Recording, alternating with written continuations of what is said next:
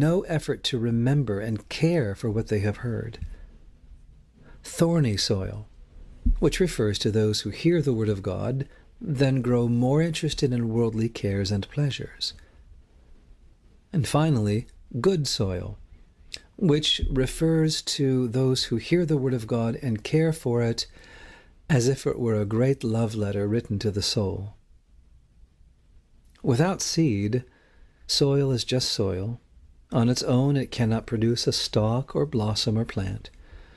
It requires something outside of itself for that kind of beauty. The only part the soil plays in this parable is whether or not it is ready. In the 18th century, a series of comical stories developed around a man by the name of Baron von Munchausen, a flamboyant German nobleman who had a reputation for telling tall tales.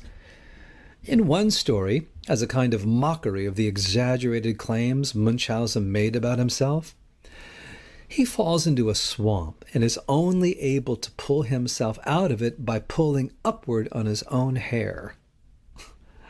In an American retelling of this story, Munchausen floats over a fence and a barn and a church steeple by, wait for it, pulling himself upward by his own bootstraps. In other words, it's impossible. When we use the expression today, pull yourself up by your own bootstraps, we mean believe in yourself, work hard, and you can become successful. That meaning, however, is exactly opposite what the phrase originally meant, which was changing yourself from the inside out is like pulling yourself upward by your own bootstraps. It cannot be done. The image of the self made man, the industrious type, the overcomer of obstacles who relies on nothing and no one else but his own wits and hard work, this works well in the world of business. It's good, inspiring stuff. But in the spiritual life, it's an impossibility. No one can save himself. A person may be able to replace a bad habit with a good one, but they cannot replace a dead soul with a live one, or a foul heart with a fair one. Conversion is an inside job, and only God can do inside jobs. Our job is to create the conditions prayer, fasting, almsgiving, thankfulness, so that when that seed falls, we're more likely to be ready. Why do 12 step programs work so well for so many people? It may have something to do with the humility of those first several steps, which apply to everyone because we're all in some kind of recovery. Number one, we admitted we were powerless that our lives had become unmanageable. Step two, we came to believe that a power greater than ourselves could restore us to sanity. Step three, we made a decision to turn our will and our lives over to the care of God as we understood Him.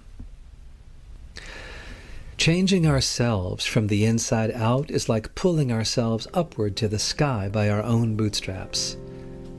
It cannot be done. With God, however, all things are possible. To be humble before Him and rejoice in our need for Him, isn't that a lovely takeaway from Christ's story of the sower and the seed? Often the greatest truths are the simplest ones. Conversion is an inside job, and only God can do inside jobs. For Ancient Faith Radio, this is Father John Oliver. You've been listening to the Hearts and Minds podcast. Father John Oliver is the priest at St. Elizabeth the New Martyr Orthodox Church in Murfreesboro, Tennessee, and the author of Touching Heaven Finding God on the Island of Valaam, published by Conciliar Press. This has been a listener supported presentation of Ancient Faith Radio on the web at ancientfaith.com.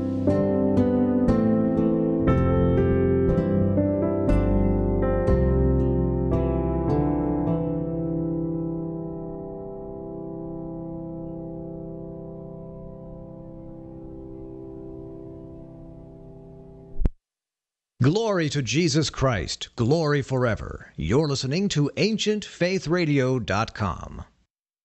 He will be a staff for the righteous with which for them to stand and not to fall. And he will be the light of the nations and the hope of those whose hearts are troubled. All who dwell on the earth will fall down and worship him, and they will praise and bless and celebrate with song the Lord of spirits. 1 Enoch chapter 48 verses 4 through 5. The modern world doesn't acknowledge but is nevertheless haunted by spirits, angels, demons, and saints. In our time, many yearn to break free of the prison of a flat, secular materialism, to see and to know reality as it truly is. What is this spiritual reality like? How do we engage with it well? How do we permeate everyday life with spiritual presence? Orthodox Christian priests, Father Andrew Stephen Damick and Father Stephen DeYoung, host this live call in show focused on enchantment in creation, the union of the seen and unseen as made by God and experienced by mankind throughout history. Welcome to the Lord of Spirits. Good evening, everyone. Welcome back to the Lord of Spirits podcast. My co host, Father Stephen DeYoung, is with me from Lafayette, Louisiana.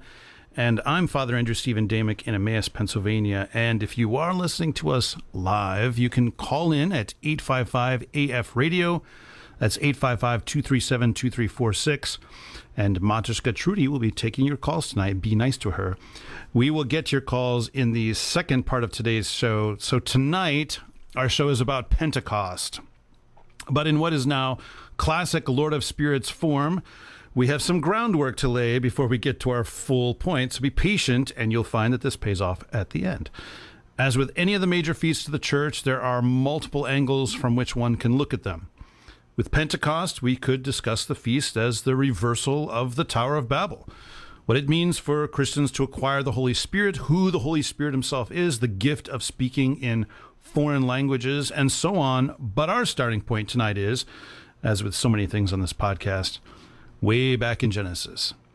In the first chapter of Genesis, God takes the formless, void world and makes the heavens and the earth and all the life that is in them. And then in Genesis chapter 2, the narrative backs up to the beginning again and retells the story, but with a focus on a place called Eden.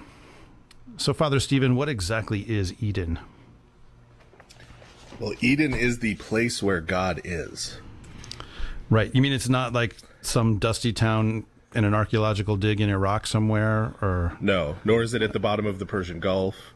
Yeah. Uh, nor is it in uh, the last the last History Channel documentary I, I, watched, where they were trying to track down where it was. Uh, said there's this city in what's now Turkey built on top of it. Oh, there are some who say it's in Missouri.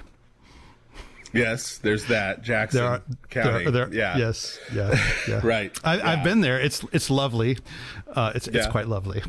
and there, there, are those who say it's been paved over and put in a parking lot. Uh, yes. But and there's there's our first '80s music reference yeah, for the evening. The uh, '80s. Wow. Is okay. It? I don't remember. I don't know. Anyway. I, I, yeah, I'll have to look that up now. But yeah, sad. Just I know. Anyway, okay. Uh, Eden's yeah, where God so is. This is this is right, and this is this is what we're going to be tracing for folks today. Uh, to to tell you what we're going to tell you. We're starting at the beginning of the world, and we're tracing the place where God is. Okay. Where He is at uh, different points in time, and so this is going to be connected to ideas of sacred space and sacred place yeah. Um, so so this is a good one to have already listened to the entire podcast up to this point in order to get. yeah.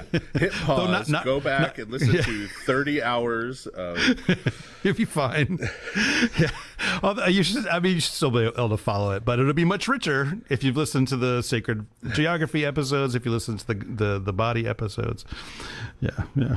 But anyway. Right. So, so here we are. This is the, the place where God is, is also, of course, the, the place where you would go to meet God right? Right. So you can you can meet a Christian in Kristiansand, you can meet the devil in Helsinki, but uh, if you want to meet God, you have to go to certain places.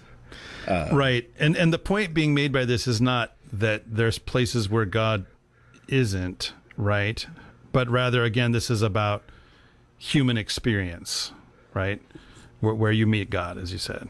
Right. This is about where the presence of God intrudes into the time and space that only exist as part of human experience. Right. Right. Right. So, and that's, well, yes, uh, we as all Christians have historically affirmed that God is everywhere within creation. Right. right? It always has been. Uh, it's also very clear, just on a surface reading of the Bible, that there are places where he really, really is. right. Right. That's, Right. Um, Yeah. And so it's that that really really is that we're going to be uh, focusing on tonight. So the first of those places is uh, paradise, which uh, this is a little bit of review because we've talked about this before. But uh, paradise, of course, the word comes from a walled garden. It's a Persian loan loanword, right? So it is this space that is walled off, sectioned off within the cosmos that has been created and it is not the entire earth at the time of creation, right? Because uh, even though when it is planted in Genesis chapter 2, God doesn't tell us east of where, he tells us that he In the east. plants a garden in the east, which means it has a location. It means there is plenty of cosmos that is not Eden at that point yet. Right. It's limited. And and when he creates Adam in Genesis 2, he creates him from the dust of the earth and then places him in Eden. Meaning that that earth dirt that he's made out of came from somewhere outside. Came from outside. And that wall represents this, that there's a separation. Of course, we talked about how the intent was that uh, Adam and Eve, as they came to maturity, uh, or that time Adam and woman, as they came to maturity, uh, would uh, then leave the garden and take Eden, take the presence of God with them right. and would would participate in, take part in, be given the the grace by God to participate in turning the whole cosmos into Eden, to filling the whole uh, cosmos with with God's presence. Uh, of course, we also know from Genesis chapter three that that is not what happened, Right. um, right. and and so at that point, uh, humanity was expelled from the presence of God. Right. Yeah, and and like most icons of this, you see them, you know, walking out of Eden, kind of looking over their shoulder, and there's, you know, a cherub there with his flaming sword, um, and um, and some you you get Adam sitting down and weeping over what he's lost. Um, but but but the main point is, as you said, that they're expelled from the presence of God. Whether that sort of literally means that they walk through you know a, hole in the wall in the walls and you know it's not necessarily that way the point is that they're not with god anymore in the way that they were before um, we don't know if that entailed actually leaving a place the way we would think of it now but but that's that's the way that iconography iconographically it's depicted which is and and it's the way it's described in scripture so that's what we've got right Right. And often iconography will even depict the wall. yeah right right Right. That's right. And so that wall, that barrier, rather than becoming a place that distinguishes the holy place from the rest of creation, uh, it becomes uh, a barrier between humanity and the presence of God. And this is often, uh, as so many things are in uh, the West, looked at as sort of a punishment. Right. Right? Right. You you this was this nice place. This was this wonderful place. This blissful place being in the presence of god. And now you've got to go out there into the crummy world because you were bad. Right right i'm sending you away because because you have offended me Right, right. But that's not what it's about. Um, instead, it's as we've talked about on this podcast before. When you know when mankind is created, he's created immortal, created to be immortal, and sustained as being immortal by God. But the problem is, is then if an immortal being sins, he's crystallized in his rebellion against God, and so what happens is that God gives them mortality so that they would have the opportunity to repent because you need mortality in order to be changeable in that particular way. And so actually being sent out is a mercy. Right. Right? It's it's Yeah. not as God said it's not good for man to to live forever in this in this state. Right. In the state then, of crystallized sin, Right, because then he would have been just like the devil, right? right? Who also fell in Genesis three, and um, that would also mean that the devil would have succeeded, Yeah. right? Because Yeah. that was the devil's goal, right? The devil's goal was to destroy humanity, to make humanity like himself. Um, that's always been his goal. That's still his goal is to make human persons like himself. Um, so yes, God prevents that victory by expelling humanity from his presence. And this dynam- dynamic that happens here in Genesis 3, we're going to see stretches all the way through the scriptures. Right. This idea that when, uh, while humanity is sinful and while we're bearing in our bodies and our, our souls, our lives, the effects of our sin, it is dangerous for us to come into the presence of God.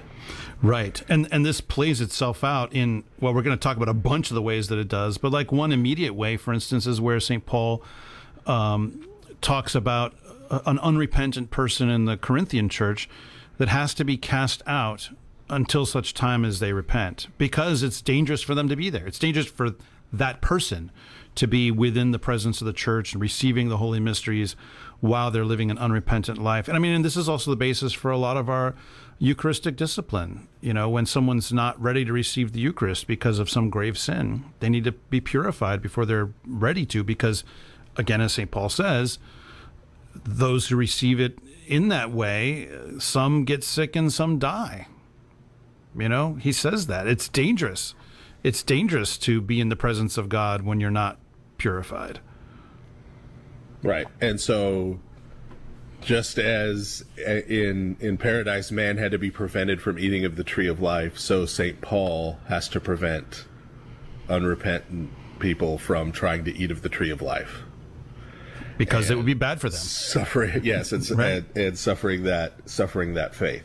Yeah. that faith Yeah. So this is this is um, an act of love by God, both to protect them from His holiness and to give them then the opportunity to potentially, eventually, come back.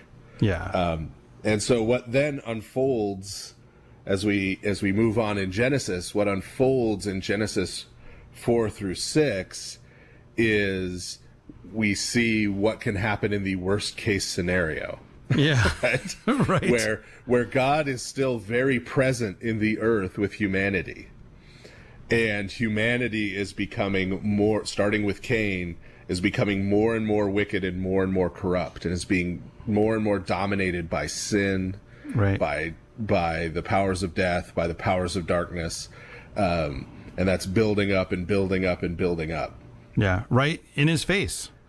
Yeah, Right. Because yeah, and and so this yeah yeah literally yeah exactly and and so this concept and we're going to mention this a bunch of times, but this is an important concept. This is called death by holiness, and it's basically that if you are in the presence of God and not prepared to be, it's going to be really bad for you. Uh, not because he's like mad or anything like that. It's just this is death by holiness, and we see it a bunch of times in Scripture. So, and we're going to talk about a number of those times. Right. And and the God's holiness is over and over again compared to fire. Yeah. right? And in your in your best case scenario of coming into the presence of God, right? Uh, it's like putting iron into the fire and all the impurities are burned away, Yeah. Right? and the and the iron is purified. That's your best case scenario. In the worst case scenario, the whole thing gets burned and melted away. Right. And so Isaiah, when the flaming coal is brought to his lips to purify them, that's not a present, pleasant experience. Don't try this at home. Right. having, a, having a burning coal pressed to your lips. Right. Um, but that purifies him. Right. And so, right. Right, and this is, this is because of, of God's holiness and because of who he is. Right. Um, this is not hint that he likes going around, you know, torching people. Um, right and an and this ex- and this explains why then that cherub is put at the gate of the garden with a flaming sword it's not to protect the garden from man defiling it it's to protect human beings from entering in a place that would destroy them that's what it's doing there Right, because it would be it would be better, right? Remember, he's be, the the the cherub is there to keep them from the tree of life. Right. It's better for them to die physically than to uh, eat from the tree of life and be immortally dead spiritually. yeah right so it's it's to stop them from something worse. So a- as we see this evil and wickedness and sin and demonic activity and corruption build up in in uh, genesis 4 through 6 this sort of culminates as we've said before most famously famously in the giants episode right? Yes. this sort of culminates in in genesis 6 verses 1 through 4 and of Genesis six verses one through four, verse three is sort of the uh, the poor ignored cousin Oliver of the whole situation uh, that nobody ever talks about because everybody gets excited about the giants, yes right well, people people do which are in verses one, two, and four. right yeah giants so Nephilim. Yeah, so verse 3 says, So the Lord said, so this is right after the description of the giants coming around. So the Lord said, My spirit will not, and then some translation says remain in, others it says contend with. So my spirit will not remain in, or my spirit will not contend with humankind indefinitely, since they are mortal. They will remain for 120 more years. That's what that verse says. Right. So, so what's going on in that verse? Right. So God's Spirit, the Holy Spirit, right, is in the whole cosmos, right? He's everywhere present and filling all things. Yes. And uh, that means that all of this sin and wickedness that's happening, building up to up to and including what the giants are up to, is happening in God's presence. All right? And so there's this this Hebrew verb that's used that is uh, can mean either abide in or remain in or contend with. Uh, it can have a positive or negative connotation depending on context. Uh, and and I would suggest this happens very often with Hebrew, especially in Hebrew poetry, but in Hebrew in general. Um, and you even get some of the New Testament writers because they're thinking with a Hebrew Aramaic brain doing this in the in the New Testament, where they will deliberately use a word that could be taken in multiple senses and use it to kind of mean both. Right? It's porque no los dos. Right? Yes, right. yes, It's pun both. fully intended. right. It's Right.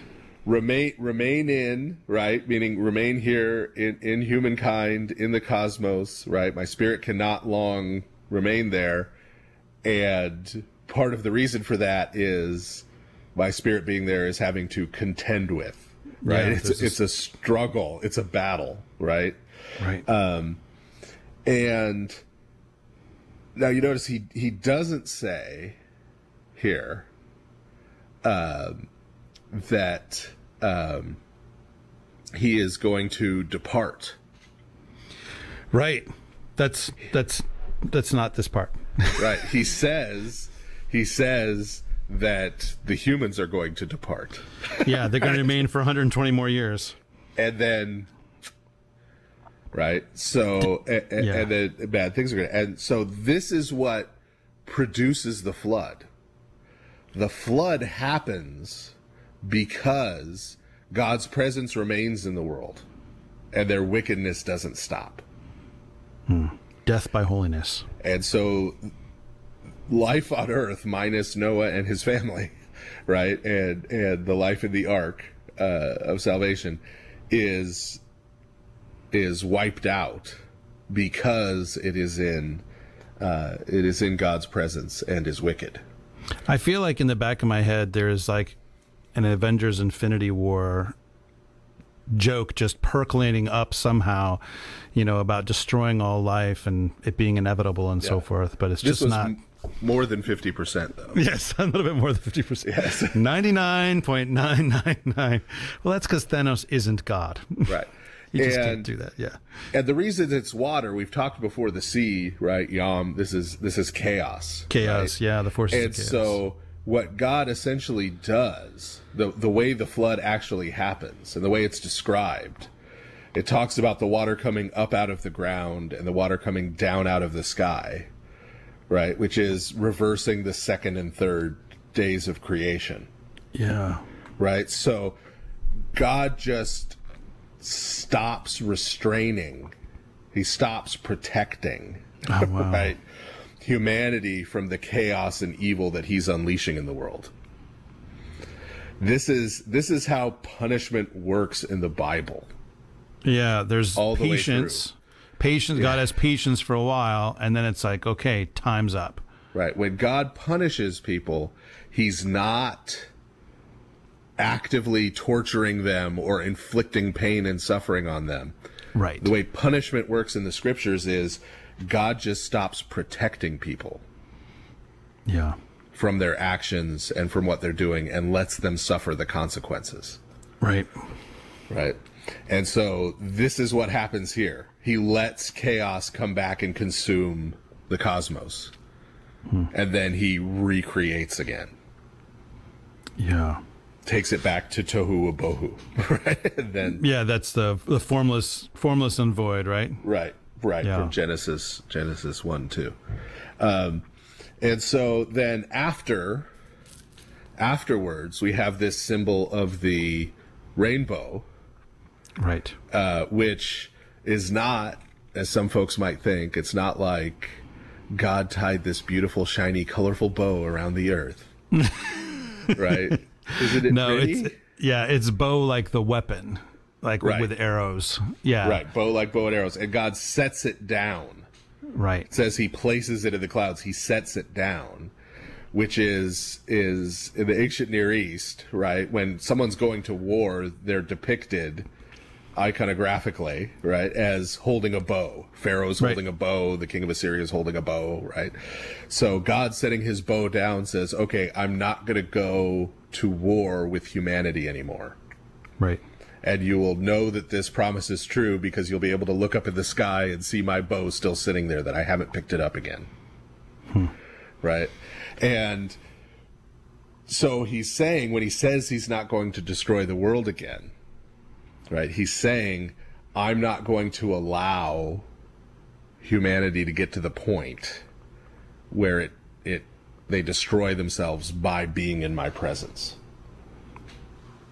And so that's why we see in Genesis 10 and 11, we see something at the same time very similar but at, and very different unfold. Yeah, yeah. I mean, and it doesn't take long, right, for things to start to go bad again.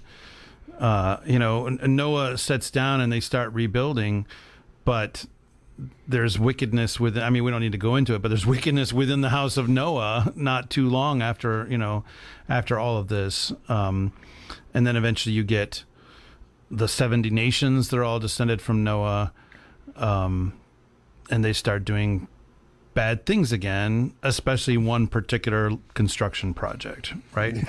Right. Right. Yes. And and there's some build up to that in the genealogies in Genesis 10, which Right. Again, for some reason, not people's favorite part of Genesis, the, the genealogies.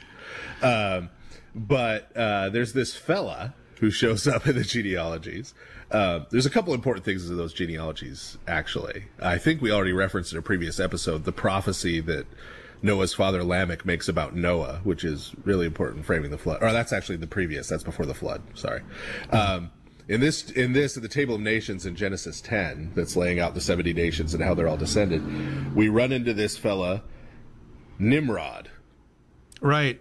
Which is not just a, a way of referring to. It's not just an insulting thing to call somebody. It's an actual, actual right, person. Right. Or yes. A, or a super popular pendant from the 70s to have hanging amidst your chest hair. Oh, uh, You wow. can look that up if That's you a weren't alive callback. back then. Um, but yeah. So who is Nimrod? This actually came up in the Lord of Spirits Facebook group the other day. You know, asking is Nimrod a giant because of the way he's described as being this mighty hunter before the Lord, right? yes. Dun dun dun.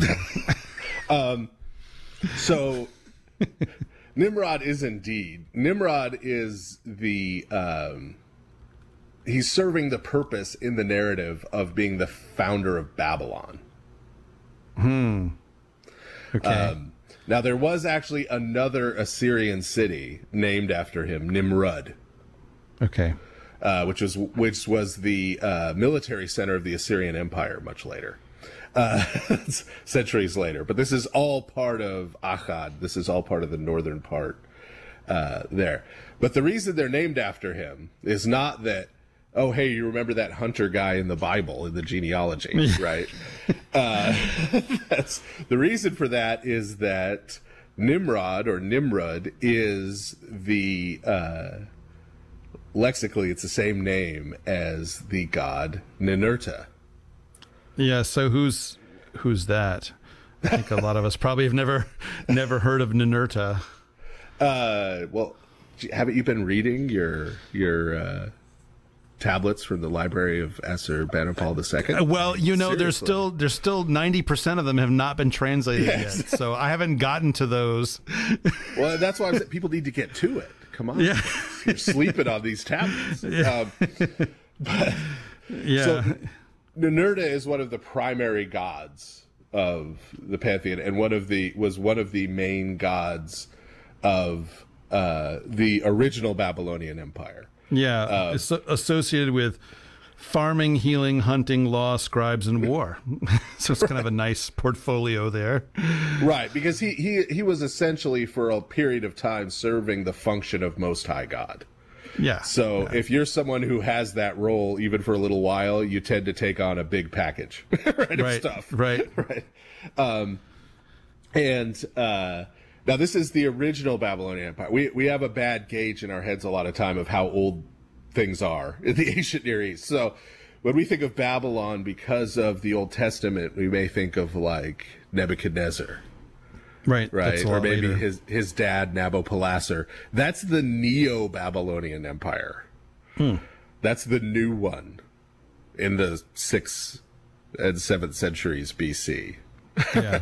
This Um, is this is what a, couple thousand years before that. The original one, yeah, we're talking about like 2500 BC Yeah. and a few centuries before and after. So we're talking about like Hammurabi. Uh, we're talking about the Martu, who are the biblical Amorites, right? Who we already talked about in the Giants episode a little bit. Right. So this is one of the gods of Bab- of Babylon at that time, right? Gotcha. At that time, and so uh, what the the text is doing in Genesis 10 is it's tying this to this particular Nephilim fellow, right? Who is the city founder figure who becomes the god Ninurta. He ends up his spirit ends up being worshipped by uh, the Babylonians. That's what's going on here, and it's part of Genesis showing us that that uh, the whole Nephilim thing is even starting to happen again.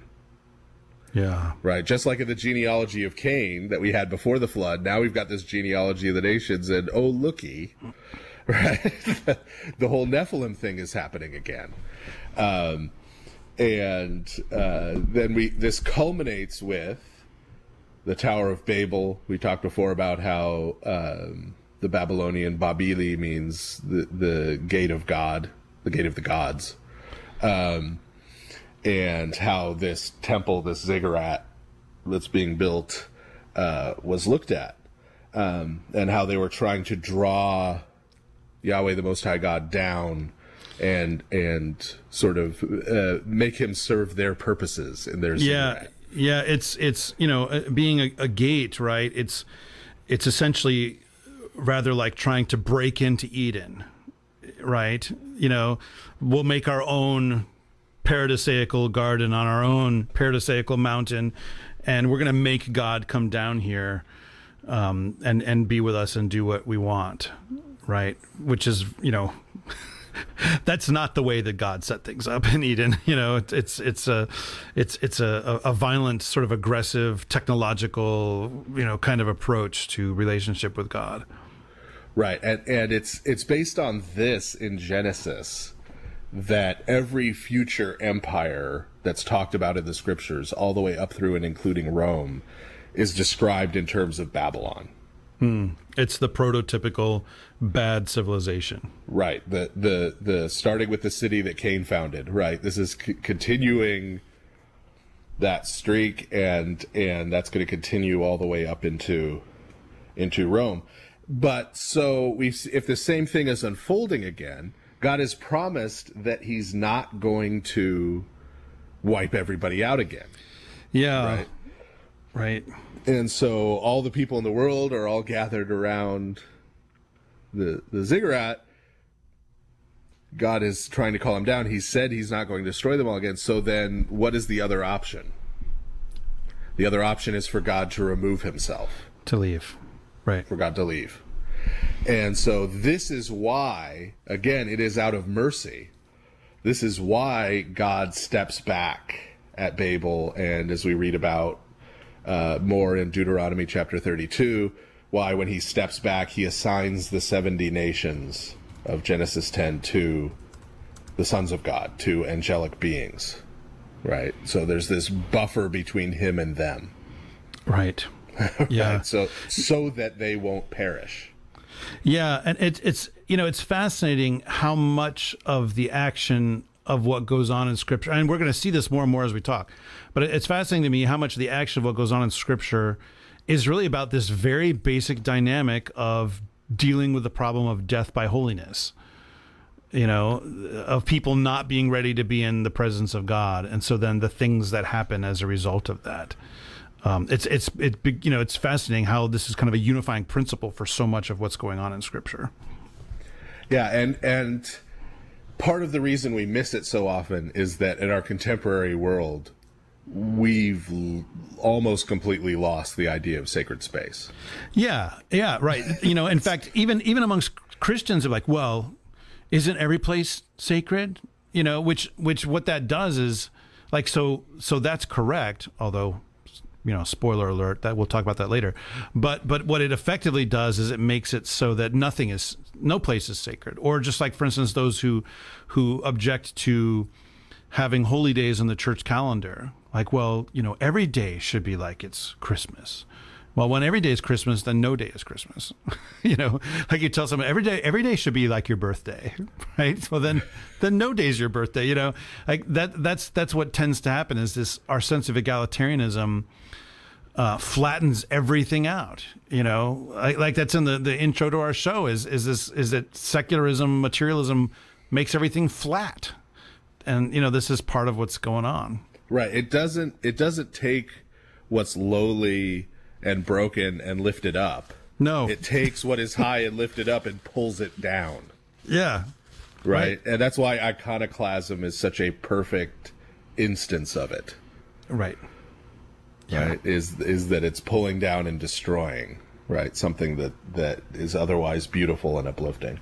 Yeah. So um, okay so now we've got god has withdrawn himself from the nations and assigned angels to them to govern them by proxy.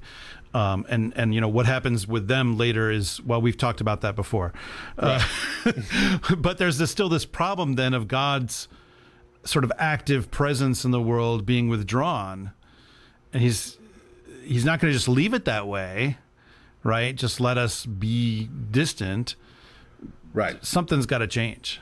Right, because the goal was right. Remember, the goal of the expulsion from paradise was so that there could be repentance, so yeah. that they wouldn't end up eternally condemned. Yeah. And so the goal of withdrawing here again is so that the people won't perish because God doesn't want them to perish right?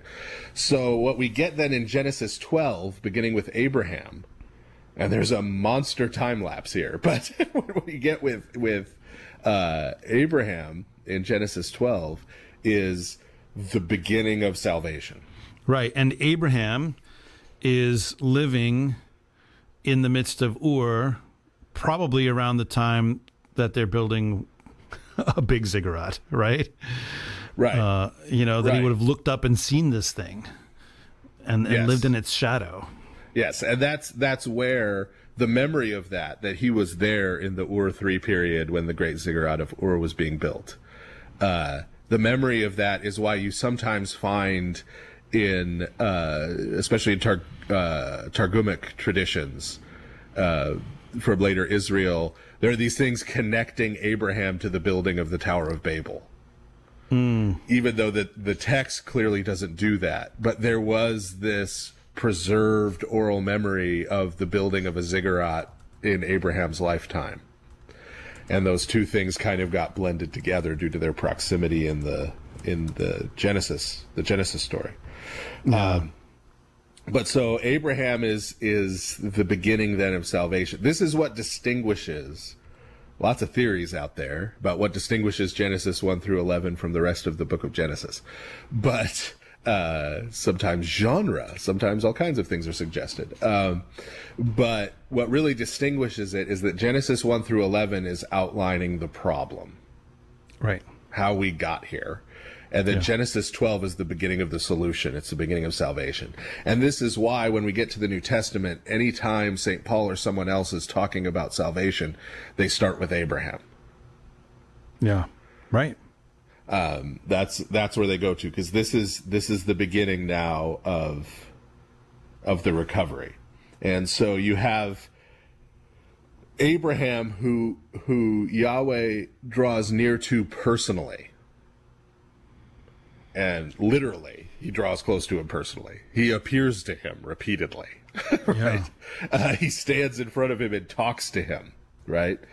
But uh, Abraham and his immediate descendants are living as nomads, right? They leave Ur, uh, and and Ur in the Abraham story, notice is identified as Ur of the Chaldees, which Yeah. What's what's that about? yeah, it actually isn't Ur of the Okay. Chaldees. Ur was in Sumeria, not Akkad, and it and it was the Babylonian Empire uh, didn't really exist at that time and didn't control Ur. But more than that, the term Chaldean refers to the Neo-Babylonian Empire. But it's called Ur of the Chaldees uh, in uh, the Genesis text precisely to make the connection to the to what just happened with Nimrod and the Tower of Babel. Oh, interesting. Chaldeans are Babylonians. Sort of more like Ur, like the Chaldees. Right, right. Sort of, yeah. So it's it's saying it, it, it's making the point that when when God does come and appear to Abraham Abram at that point and calls him out, right? He's calling him now out of out of Babylon. He's calling him out of the city. God had already withdrawn himself from that, and now he's calling Abram out to come out with God uh, away from that civilization. yeah. And so the the the place where God is, since Abraham, Isaac, and Jacob and Jacob's sons are living nomadically, uh, the place where God is is with them, wherever they are. Right, and so this is why, all the way through up to up to Moses, and we'll be talking about Moses more in the second half. Um, when God identifies himself, he doesn't identify himself as the God of a place. Right, right. Which Right. which is you know like what most most uh, spirits of that time were associated with. You know, the local god, basically, territorially local. Right. Right. He's he's in Genesis one through eleven. He's God Most High. He's just God, right? The Right. God of gods, right? From Genesis twelve on for a good long while, he's the God of Abraham, Isaac, and Jacob. Yeah. So it becomes local, but not local to a place. It's local to these people. Right. He's local with he's with those them, people. Yes. Yeah, he is with them. traveling around with them. Yeah. and he he appears to all of them bodily right and so what we see in terms of sacred space is not a temple or temples, right? It's not that kind of thing. But at these places where Abraham, like at Mamre, or uh, Jacob, like at, at Bethel, Right. Uh, where wrestles wrestles God there. Where where they encounter Yahweh personally, where he appears to them, where, where they interact with him, they build an altar there. Right. And then that is the place when they come back ritually and offer sacrifice on that altar, they're making the time when they were there in the presence of God to be that time again. Yeah, so right. they basically go on pilgrimage back to those places, and by means of offering sacrifice there, they're there again. They're then they're then again. I right. should put it. Right. I have to sort think fourth ritu- dimensionally. Ritual time travel. Yes. yes exactly. right. Yes. Uh, they don't travel back in time, but that time becomes sure. this time. Right. You know, and you don't have to go eighty-eight point eight miles per hour. Right. So. Right. Right. Right. You don't need. Right. You need zero gigawatts of. Uh, um, so and and as a note, if you actually look at those altars in the patriarchal narratives and the stories of the patriarchs in Genesis 12 through 50, uh, there are 12 of them, and there's okay. one in each of the territories that God later assigned to the 12 tribes of Israel. So if they had done what they were supposed to do and taken the land they were supposed to take, each one of them would have had one of those shrines hmm. uh, within their territory. Hmm. Um, but of course they didn't. Um, Disappointing. Right. so, uh, I don't know if there was giggling or not, though. But anyway, um, so uh, then before we before we move to Act Two and uh, yeah. get to our friend Moses, so before Moses, there's there's this big time gap between yeah. the patriarchs and the beginning of Exodus, right? Right, Where, right. It's like five to seven hundred years of space between them. I mean, you know, so basically, you know, Jacob and sons are in Egypt, and then five to seven hundred years later, you get the Exodus. And, right. You know, you go from what's going on. right. You go from seventy, not coincidentally, people who go down into Egypt um, to you know what's going to become the nation of Israel. And so the, during that time, during that this, these centuries, right? Where is the God of Abraham, Isaac, and Jacob? Right, right because where is Yahweh during this time? They're, I mean, as far as anyone on earth is concerned, they're dead. So God right. isn't hanging around in the cemetery. Right. Um, yeah. so where, the where, question where is, did did God just withdraw again for a few hundred years and then come back to Moses, right? Or well, follow them into Egypt? I mean, what right. would happen if he had followed them into Egypt? That would have been probably bad for the Egyptians. Right. um, yeah. So, as it later is, the the what's actually in the Bible and some archaeology tell yeah. us where he is uh, yeah, during and, those and centuries. I'm, I'm just going to preface this, everybody, by saying I had no idea. I had no idea. this is, yeah, yeah, yeah. So we're put, put, yeah. Put your put your hats on so that your skulls don't explode too much here.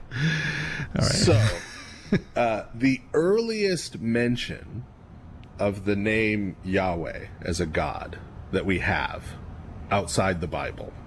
Okay is on a wall at a temple at the city of Soleb in Nubia. So this is northern Sudan today. Right. This, this would have been a a uh, an Egyptian settlement, right? Right. It's an Egyptian temple built by Pharaoh Amenhotep III as a temple to Amun Re.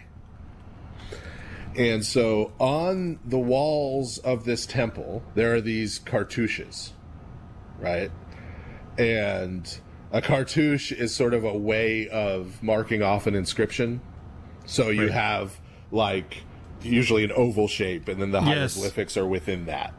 I remember seeing those for the first time reading Asterix and Obelix comics when I was a kid, because we had the Asterix and Cleopatra uh, comic, thanks to my dad who bought it in Australia, if you can believe it. True story. That's how I learned still- about cartouches. I think I still have it actually. So it might I mean, be worth money. oh, Anyway, it's probably yeah. I don't know. That it would have been so that's my first thought. But Yeah, right, right. Yeah, I think. I, I mean, I if I do have it, I would have had it since like 1982, 81. I mean, it's a long time ago.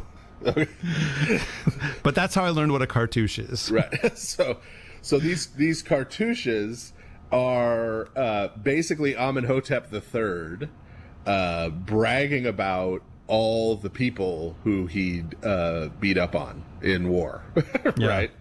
And uh, where they were from, and sometimes who their gods were, and all that kind of stuff. Like Yeah. a lot of lot of trash talk, right? Right.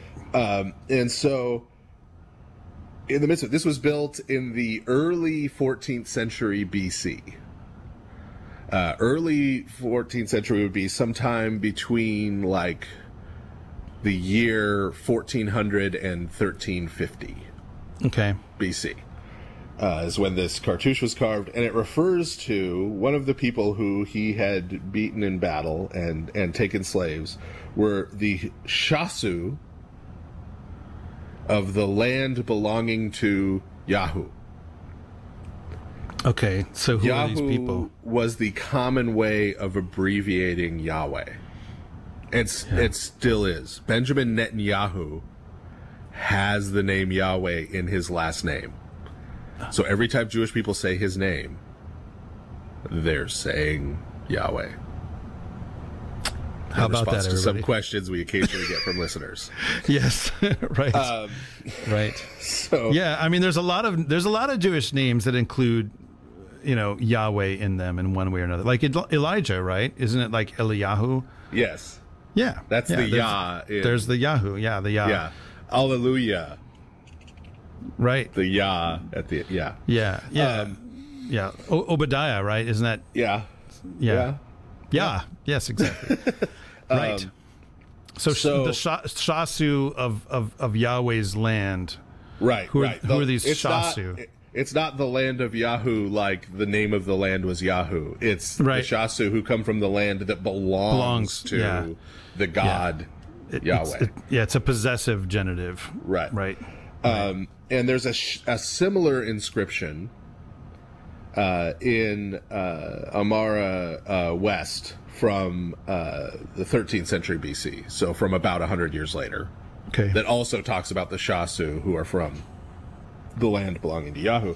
And you don't have to look far to find out in Egyptian records that the Shasu are uh, what they called the Edomites. right. So these are descendants of Esau, the brother Right. of Jacob. Right, the Edomites, the descendants of Esau, um, the settled members of that group were called the Edomites. They were settled in the land of Edom around Mount Seir, S E I R. And then there were also the Midianites, who you read about in the Old Testament, were basically uh, a mixed group of Edomites and Ishmaelites. Okay. So that's that's who the Midianites are. So all these people are descended from Abraham. right, because they're sons Right, of accor- according to descendants of Esau. Yeah. according to right. Genesis. Right. Um, and and it's and it's this bunch. So we actually meet one, right? Uh, I don't know if we meet any before him, but but we meet one in Exodus uh, when Moses goes out into the wilderness and uh, spends what is it, forty years out there? Yeah, Um, Moses goes on the lam Yeah, right. after killing somebody. Yeah, right, right. Jesus, it's the law. Yeah. So he, right. So he's out there and he meets a local girl and marries her. That's Zipporah, and her father is Jethro, um, and he's a priest, and he's a Midianite, and he's a priest of Yahweh, he's a priest of of the right, the Most High God. Right. of the Most High God. And so he's the one who then imparts, right, uh, uh, the knowledge of who Yahweh is to Moses, shows him where the mountain of God is, right, and when when God introduces himself uh, to Moses, he says, right, your forebears knew me as El Shaddai, as the God of the mountain, uh, but. Uh, you will know me as as Yahweh, right? Um, so what this shows us, both from again reading Exodus and from this archaeological find in terms of what the ancient Egyptians of that time knew about those people, is that the worship of Yahweh had been continued by the rest of Abraham's descendants, at least to this point, who didn't go into uh, Egypt. Right. And it's not just this, well, hey, look, there's Jethro. There's Right. a bunch more about this There's yes in the Old Testament if Yes. you look closely. Yeah, there's multiple references, um, and I'm just going to rattle off the the references so people can look these up. Um, Deuteronomy two one through five and twelve, Joshua twenty four four, Judges five four, and then Ezekiel thirty five verses one through fifteen. And they all reference Mount Seir, if I'm correct, S E I R. Once again, you could actually just do a, a word search on you know the BibleGateway.com for the word Seir, and you'll see all these um, references to it. And like for instance, the one in in Judges five four, right? Lord, when you went out from Seir, when you marched from the region of Edom, the earth trembled and the heavens dropped. Yes, the clouds dropped water. So you get God. He's in this place called Seir, He- Right. And it identifies This as be the Edom. You know, Right. In Judges 5, they're describing Yahweh coming to lead the people of Israel into Canaan, into the promised land. yeah, And he comes to do that from Mount Seir. right, Right. So that's where he, he was there being worshipped by the Edomites. And then he comes from there to lead the people of Israel. In the Deuteronomy 2 verses that you mentioned, first, uh, it, it's that when, when the Israelites came to the Edom, they were just kind of hanging around there for a while. And, and God had to kind of tell them, Hey, Moses, come on, get it, get it moving. We got to get Yeah. into the promised yeah. land. Right, Yes, I'm here, but this cousins, is but- yeah, yeah, Yeah. that- yeah. I'm here, but this is not this is not the place. right and but he says there he says you are not to take literally one foot it says the length of one foot one human foot you're not to take one foot of their land because yahweh says he brought the edomites there and gave them that land and he's giving canaan to the descendants of jacob Yeah, Uh, and, and, and and isn't there a reference? Is this the one in Deuteronomy two twelve? The Horites, right uh, who are in Seir. Uh, now, are those giant people? yes Yes. So That God clear, about- God clears out giants and brings Edom in to live in He- Right. He used the Edomites to clean the giants out of the land and give it to him, directly parallel to what he's about to do in the book of Joshua. Yeah. Right. And uh, so there's this direct parallel. God did the same thing with Edom that he's going to do with Israel. He did it there first. Um, Joshua 24, verse 4, that you mentioned, that's at the end of the book of Joshua, where Joshua's laying out uh, how God had fulfilled all the promises about the land that he made to Abraham. Attention, our dispensationalist friends. The Yes. book of Joshua says that God, in the conquest, fulfilled all the promises about the land that he made to Abraham. It literally says that. It's But- been fulfilled. Part of that fulfillment, according to Joshua 24, verse 4, is that God gave the land of Edom to the descendants of Esau yeah.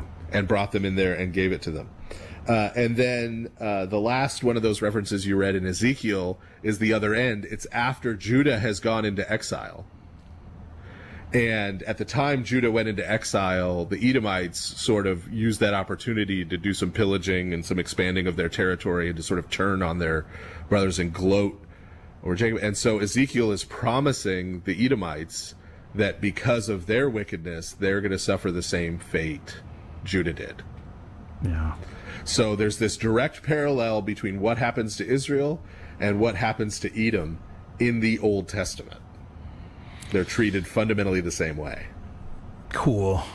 Well, everybody, now you know where exactly God was during those five to seven hundred years.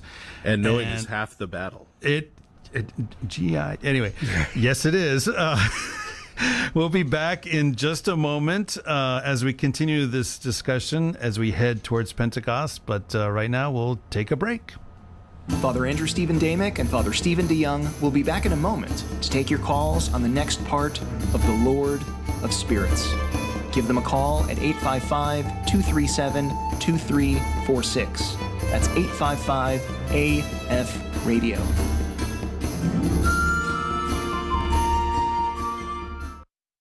This is an Ancient Faith Radio public service announcement. The Mental Health Task Force of the Assembly of Canonical Orthodox Bishops has recently launched two mental health initiatives a national directory of Orthodox mental health professionals and an Orthodox mental health needs assessment that are available at www.assemblyofbishops.org slash mental health. The Directory of Orthodox Mental Health Professionals features licensed Orthodox Christian clinicians across the U.S. who are available to serve as resources to those seeking mental health care, substance abuse care, and or professional consultation. While the Orthodox Mental Health Needs Assessment is an anonymous survey for all Orthodox jurisdictions, clergy, and lay people across the U.S. The aggregate data from this survey will help the task force better understand and address the mental health needs of Orthodox faithful through the development of ministry resources.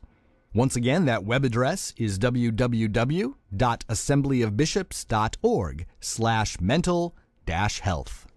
This We're back now with the Lord of Spirits, with Father Andrew Stephen Damick and Father Stephen De Young. If you have a question, call now at 855 237 2346. That's 855 AF Radio. You, voice of Steve. Always great to hear from you. I actually had lunch with the voice of Steve um, last week. It was Just his voice. Yeah, well, you know, I, actually, his his uh, his his body was was present in all of its. Uh, okay, so this his this whole like- nexus of potentialities. This isn't like a Metatron situation that we have going on here. Okay. Yes, Okay. he's not the Metatron uh, or, or Megatron. Um, yeah. So, all right. Well, we do have a caller waiting. So, uh, she's been patiently waiting. Yvonne has a question about the Tree of Life. So, Yvonne, are you there? Yes, I am. Can uh, thank you for taking my call. Can you hear You're me? welcome. Yes, yes. Welcome to the Lord of Spirits podcast. Great. It's it's actually about the tree of um, knowledge, and it's a quick, quick question, and then if it's okay, I have another quick question after that. But everybody calls it the tree of knowledge, but you know how it's the tree of knowledge of good and evil. Is that are they saying it's the tree of like judgment, like the old, you know, the old-fashioned definition of judgment, which was like discern. I not, I don't mean like condemnation. I mean like discerning, knowing good and evil, knowing right and wrong. Is that is that what that means? Yes. I'm just going to go out on a limb and say yes. Okay. Okay. Am So I correct they- in my yes, Father? I just want to make sure. Stealing stealing my bit. Yeah. Um, well, what could I say? Yeah. If if So you when go. people say like, "Oh, I'm sorry," go ahead. Well, I was I was going to say if you as you go forward in the in the Old Testament, Mm-hmm. that phrase "knowledge of good and evil," what it's Yeah. used for in the rest of the Old Testament is sort of coming of age or maturity, right? Like a child becomes an adult when they're able to know good and evil, right? Yeah. So the idea is it's not an evil tree. The idea is that there would have been some point when Adam and Eve had reached a point of maturity where God would allow them then to come to that knowledge, right? They would have been mature enough and prepared for it. But they try to seize it for themselves, right? Or the devil gets them to seize it for themselves, right? By telling them you'll be like God if you do this, right? You'll sort of leapfrog the process. Right. Yeah. Okay. Right, So, what, and what was your what was your follow up question then, Yvonne? Well, then um, you were talking about oh gosh, now I f- oh Abraham, Abram, right? How he was in um, by the Tower of Babel, you know, when it fell apart. So was he? It doesn't even matter. But is it true that he had the original language? Um, you know, like how before the languages were divided. Um, whatever, like, would he have had the? Because Paul said that when he said, "What benefit is there in being a Jew?" and then he goes, "Oh, much in every way, because they're the keepers of the oracles of God." Does that mean like that they had the pre-Diluvian language, and would it even matter, or and did Abram have that if he was by Babel? So, Well, I mean, I would love to say that the original language was Lithuanian, of course, um, or old or old English, one of the two. But um, Not likely. Not likely, yeah, yeah. No, so so Abraham, you know, as we just said, Abraham was associated with the Tower of Babel in in, in Scripture, right? But he's not actually there. He's a lot later, right? Um, so by the time by the time we meet Abraham, the nations of the world have already been divided up into many many languages. So could he have had the first language? Like, could he have held on to it? You know what I mean? Because there's a, I know you said that genealogy is really boring, but there's a um, guy, he's an author, and his name is Vaughn Heppner, V A U G H N, Heppner, and he writes these fictional books, but, like, I actually have, like, you know, because he's so, his books are so good, and they're very, very easy to read, like, he goes into the genealogy. That that's what he does of Genesis, and um, but anyway, I think he suggested it in his books that maybe when Babel was um, spread out, that one of the groups kept the original language, but I guess nobody did. I I mean, Did anybody have had the pre-dilute? Like, is there anybody that Yeah, had I mean, it, or was it, it- just wiped out? I, I would. I like, when would. they talk about like the books of Enoch and stuff like that being from pre-diluvian, like somebody would have to speak the language, right? Well, but we, we, we obviously we don't have any copies from back Oh, from yeah, back then. right. Yeah, but um, I I think most likely it's gone. Um, Okay. you could tr- you could try to do that with Sumerian, I guess, because Sumerian is a really weird language. It's not related to any other language in in Earth history. It's it's weird um, in that regard. Um, but at the time Abram lived in the in the Ur three period, he. I mean, there were Sumerian words that got incorporated into other languages, but he would have been speaking a version of Ac- Akkadian by that point. right, They, which um, is a do they- Semitic language. Right, a Semitic language. could- Yeah. because they do this um genie like if you follow the if you like do the, the math um wait who is it? Shem Ham one of the sons of Noah would have still been alive when Abram was alive and like they suggested in this book that um he could they could have talked to each other or met I guess it doesn't matter it's all fictional but Yeah, yeah. The the the the problem with that approach, uh, this will get people grumpy at me. The problem with taking that approach to the to the genealogies, um, is that um, if you try to take any one of them literally in the Old Testament, you run into trouble with some of the other ones. First off. Like they, they don't match. And the way ancient genealogies were written, they didn't list every single generation. They just listed important figures. Um, so especially the the genealogy of of Abram, it, there's probably a lot being skipped, and here's why. Um, because if you take those numbers and you say there's no skip generations at all, then there are only 300 years between the flood and Abram. And it seems un or not the flood and Abram between the uh, Tower of Babel and Abram. And it seems unlikely to me that you would go from all the people in the world being in one place to Abram being able to meet the Pharaoh of Egypt, and they have a whole civilization over there in Egypt, and then they have a whole other civilization in Sumeria and another one in Syria, and there are kings and they're developed different languages and all that. That all of that could happen in 300 years. Yeah, it, it, it, it, it it's just not a thing. it's just not. Plus, the other thing is, is that you know, just even speaking from a linguistic point of view, language changes a lot, and there's no even if someone is safe living for hundreds of years, there's actually no reason to believe that they wouldn't change the way that they speak along with everybody else. Right. I mean, I've lived in different parts of the United States and I even lived on the island of Guam for a while. And the way that I talk has altered, right? I do not sound like the Southerner that I was born to be. I sound now more like the Yankees among whom I live, you know? Um, and, and that's just within my few decades of life. Um, languages change over time. They simply do, especially when you don't have um, you know, mass culture like television and radio and so forth, and um, and mass literacy. It, it everything just goes a lot more quickly in terms of the way that it changes. So it's just it's just not plausible, you know, on, on any measure. right So- right Th- All right. Well, does that answer your questions, Yvonne? It does. It does. Thank you so very much. All right. Well, thank you for calling. All right.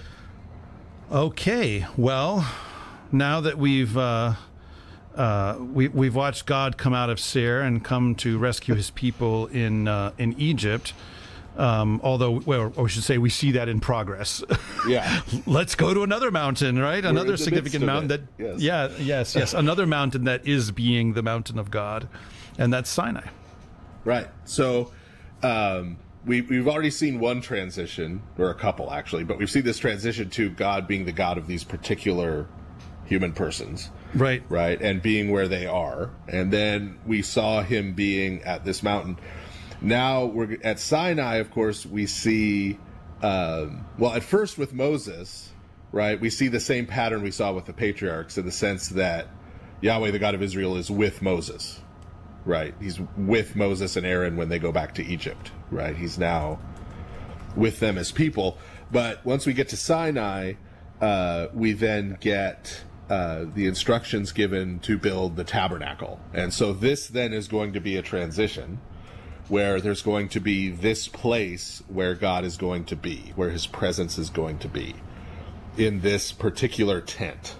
Uh, which is going to be set up at the center of the Israelite camp while they're wandering in the desert and making their way. They're going to pitch their tents and camp. And another thing that people love reading, their favorite part of the Torah, is the detailed instructions in the book of Numbers about the order in which the tribes march and where they set up camp in relation to each other and to the tabernacle. I know that's like the big.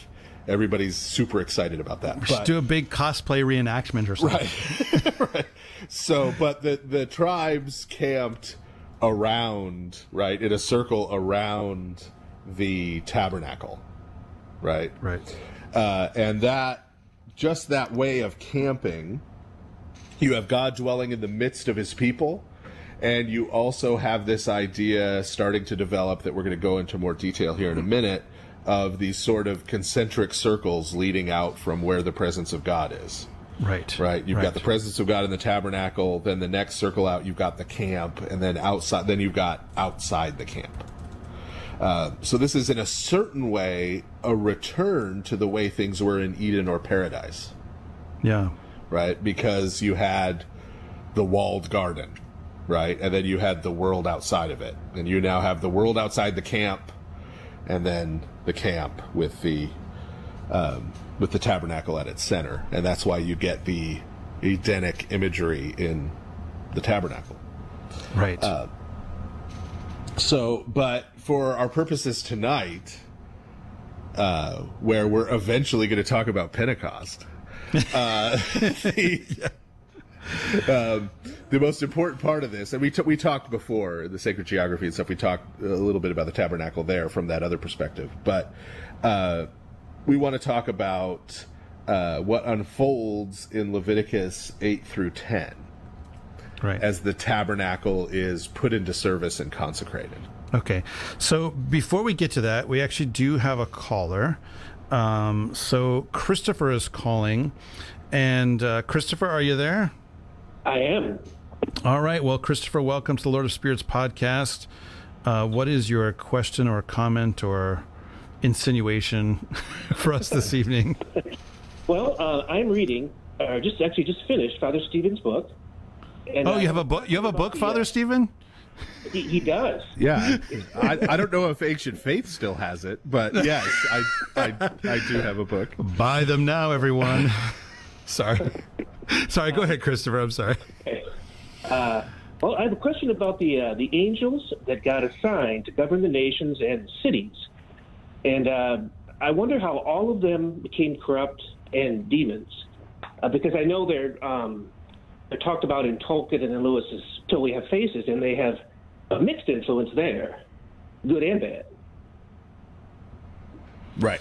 So, so how did all of them become corrupt? I mean, did God just choose the wrong ones, or Well, well, it depends on what you mean by how did.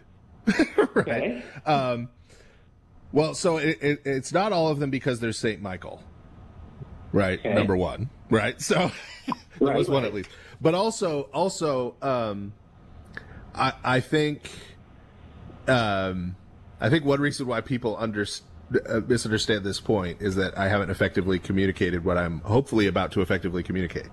Uh, you'll have to tell me, but um, so it, it's not just a question of well, okay, there are these seventy individual angelic beings, right? Yeah. Plus Saint Michael.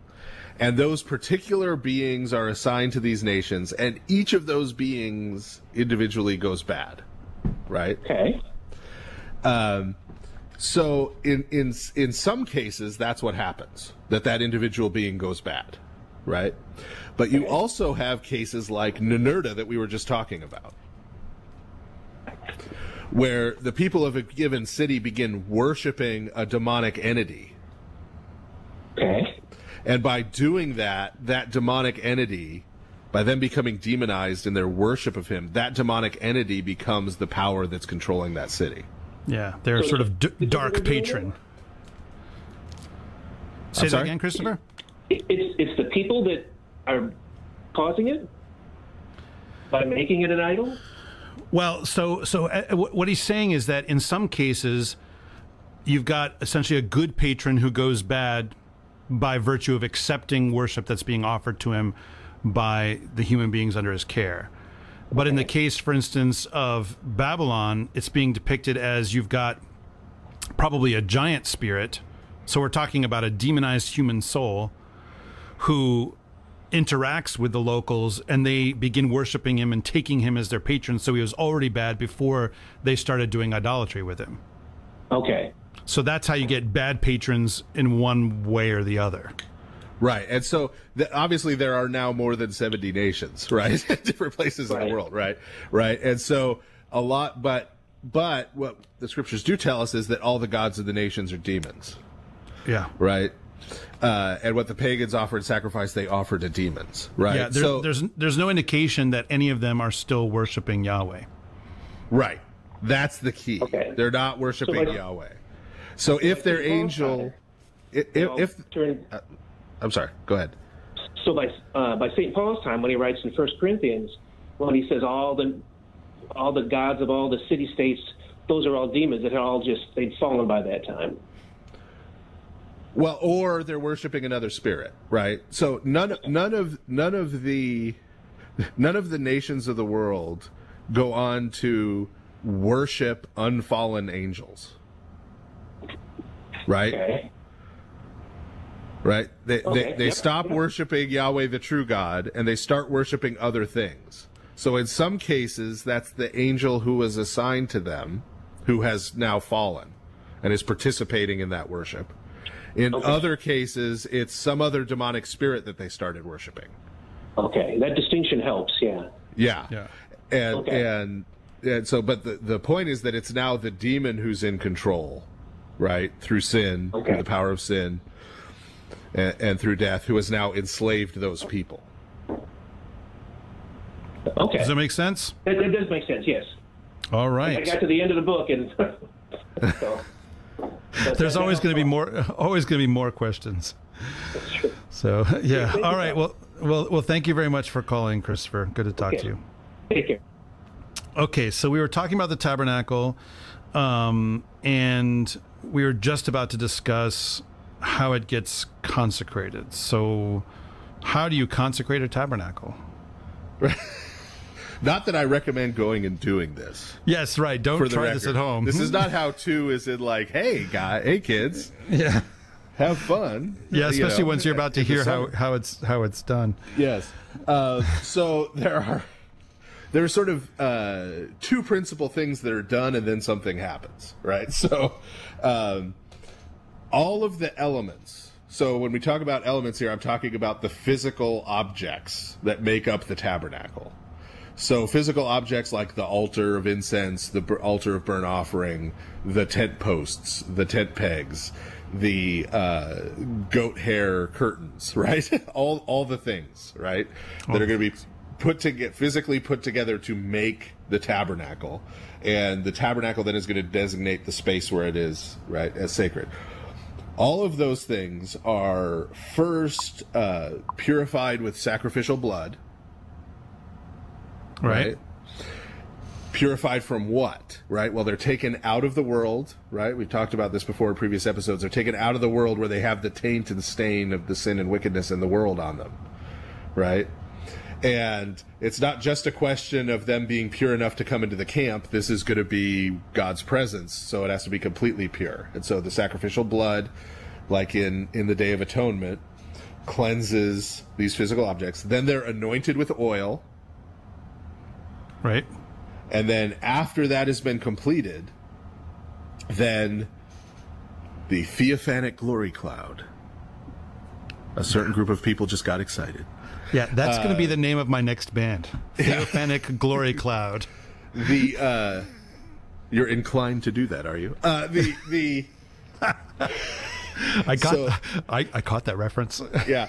So the the the fiery cloud, which is the presence of God, which is the Holy Spirit, really, right? The presence of God in the world, the one who who couldn't bear with man before the flood, right? Um, uh, and had to leave. Now comes to fill the tabernacle, Yeah. right? Comes and fills the tabernacle. So now the question of where is God is answerable because he's in the tabernacle now. Right. Yeah, This is yeah. this is this is where he's going to be located, as the Israelites for forty years are on their way um, to the land of Canaan, and so then in Leviticus ten, right after this happens, the story of Nadab and Abihu unfolds. Right, which I feel like should be the a scriptural passage that is covered in the first day of liturgics in seminary.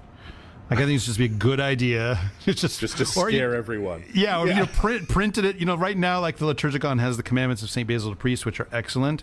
There should be also a, a, a page where you just simply include this passage.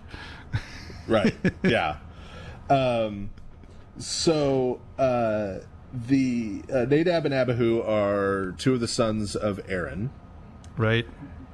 the high priest and So they're they're in they're Levites, right? They're um, they're part of the priestly bunch. right and well the Le- the levites uh well anyway we won't go to that okay Yeah, yeah. so yeah they're in the high waters priestly family they're in the high Yes, priestly family Exactly. Exactly. And uh, so people argue about what exactly the problem was, and you get different hints in different parts of the text. Uh, I go for a an all in approach of they did everything wrong, right? So we know from the text that they were drunk. right. We know from the text that they went in to offer incense at the wrong time, Right. maybe because they were drunk. Right. And we also know, because it's called Strange Fire, that they offered uh, the wrong kind of incense, right? Because there's the whole incense recipe and how they were supposed to offer it, right? So they're drunk and they do everything wrong in terms of what they were supposed to do in their duties to go into the tabernacle as priests. And they fall over dead. Fire comes out from the presence of the Lord and consumes them. Yeah. Right. Death by holiness. Right. And so this is not only, right, we see this theme again, but this is an object lesson now to all the people in the camp. Right. See, this is what I'm saying. We need to put it in our liturgical Yeah. books. that the fact that God is now dwelling in their midst is not just, oh, lovely, right? Yeah, Isn't right. that nice? Right? I really, I really is- feel like God is here tonight. this is, that should scare you. Yeah. This yes. is, right. when someone says that, I know.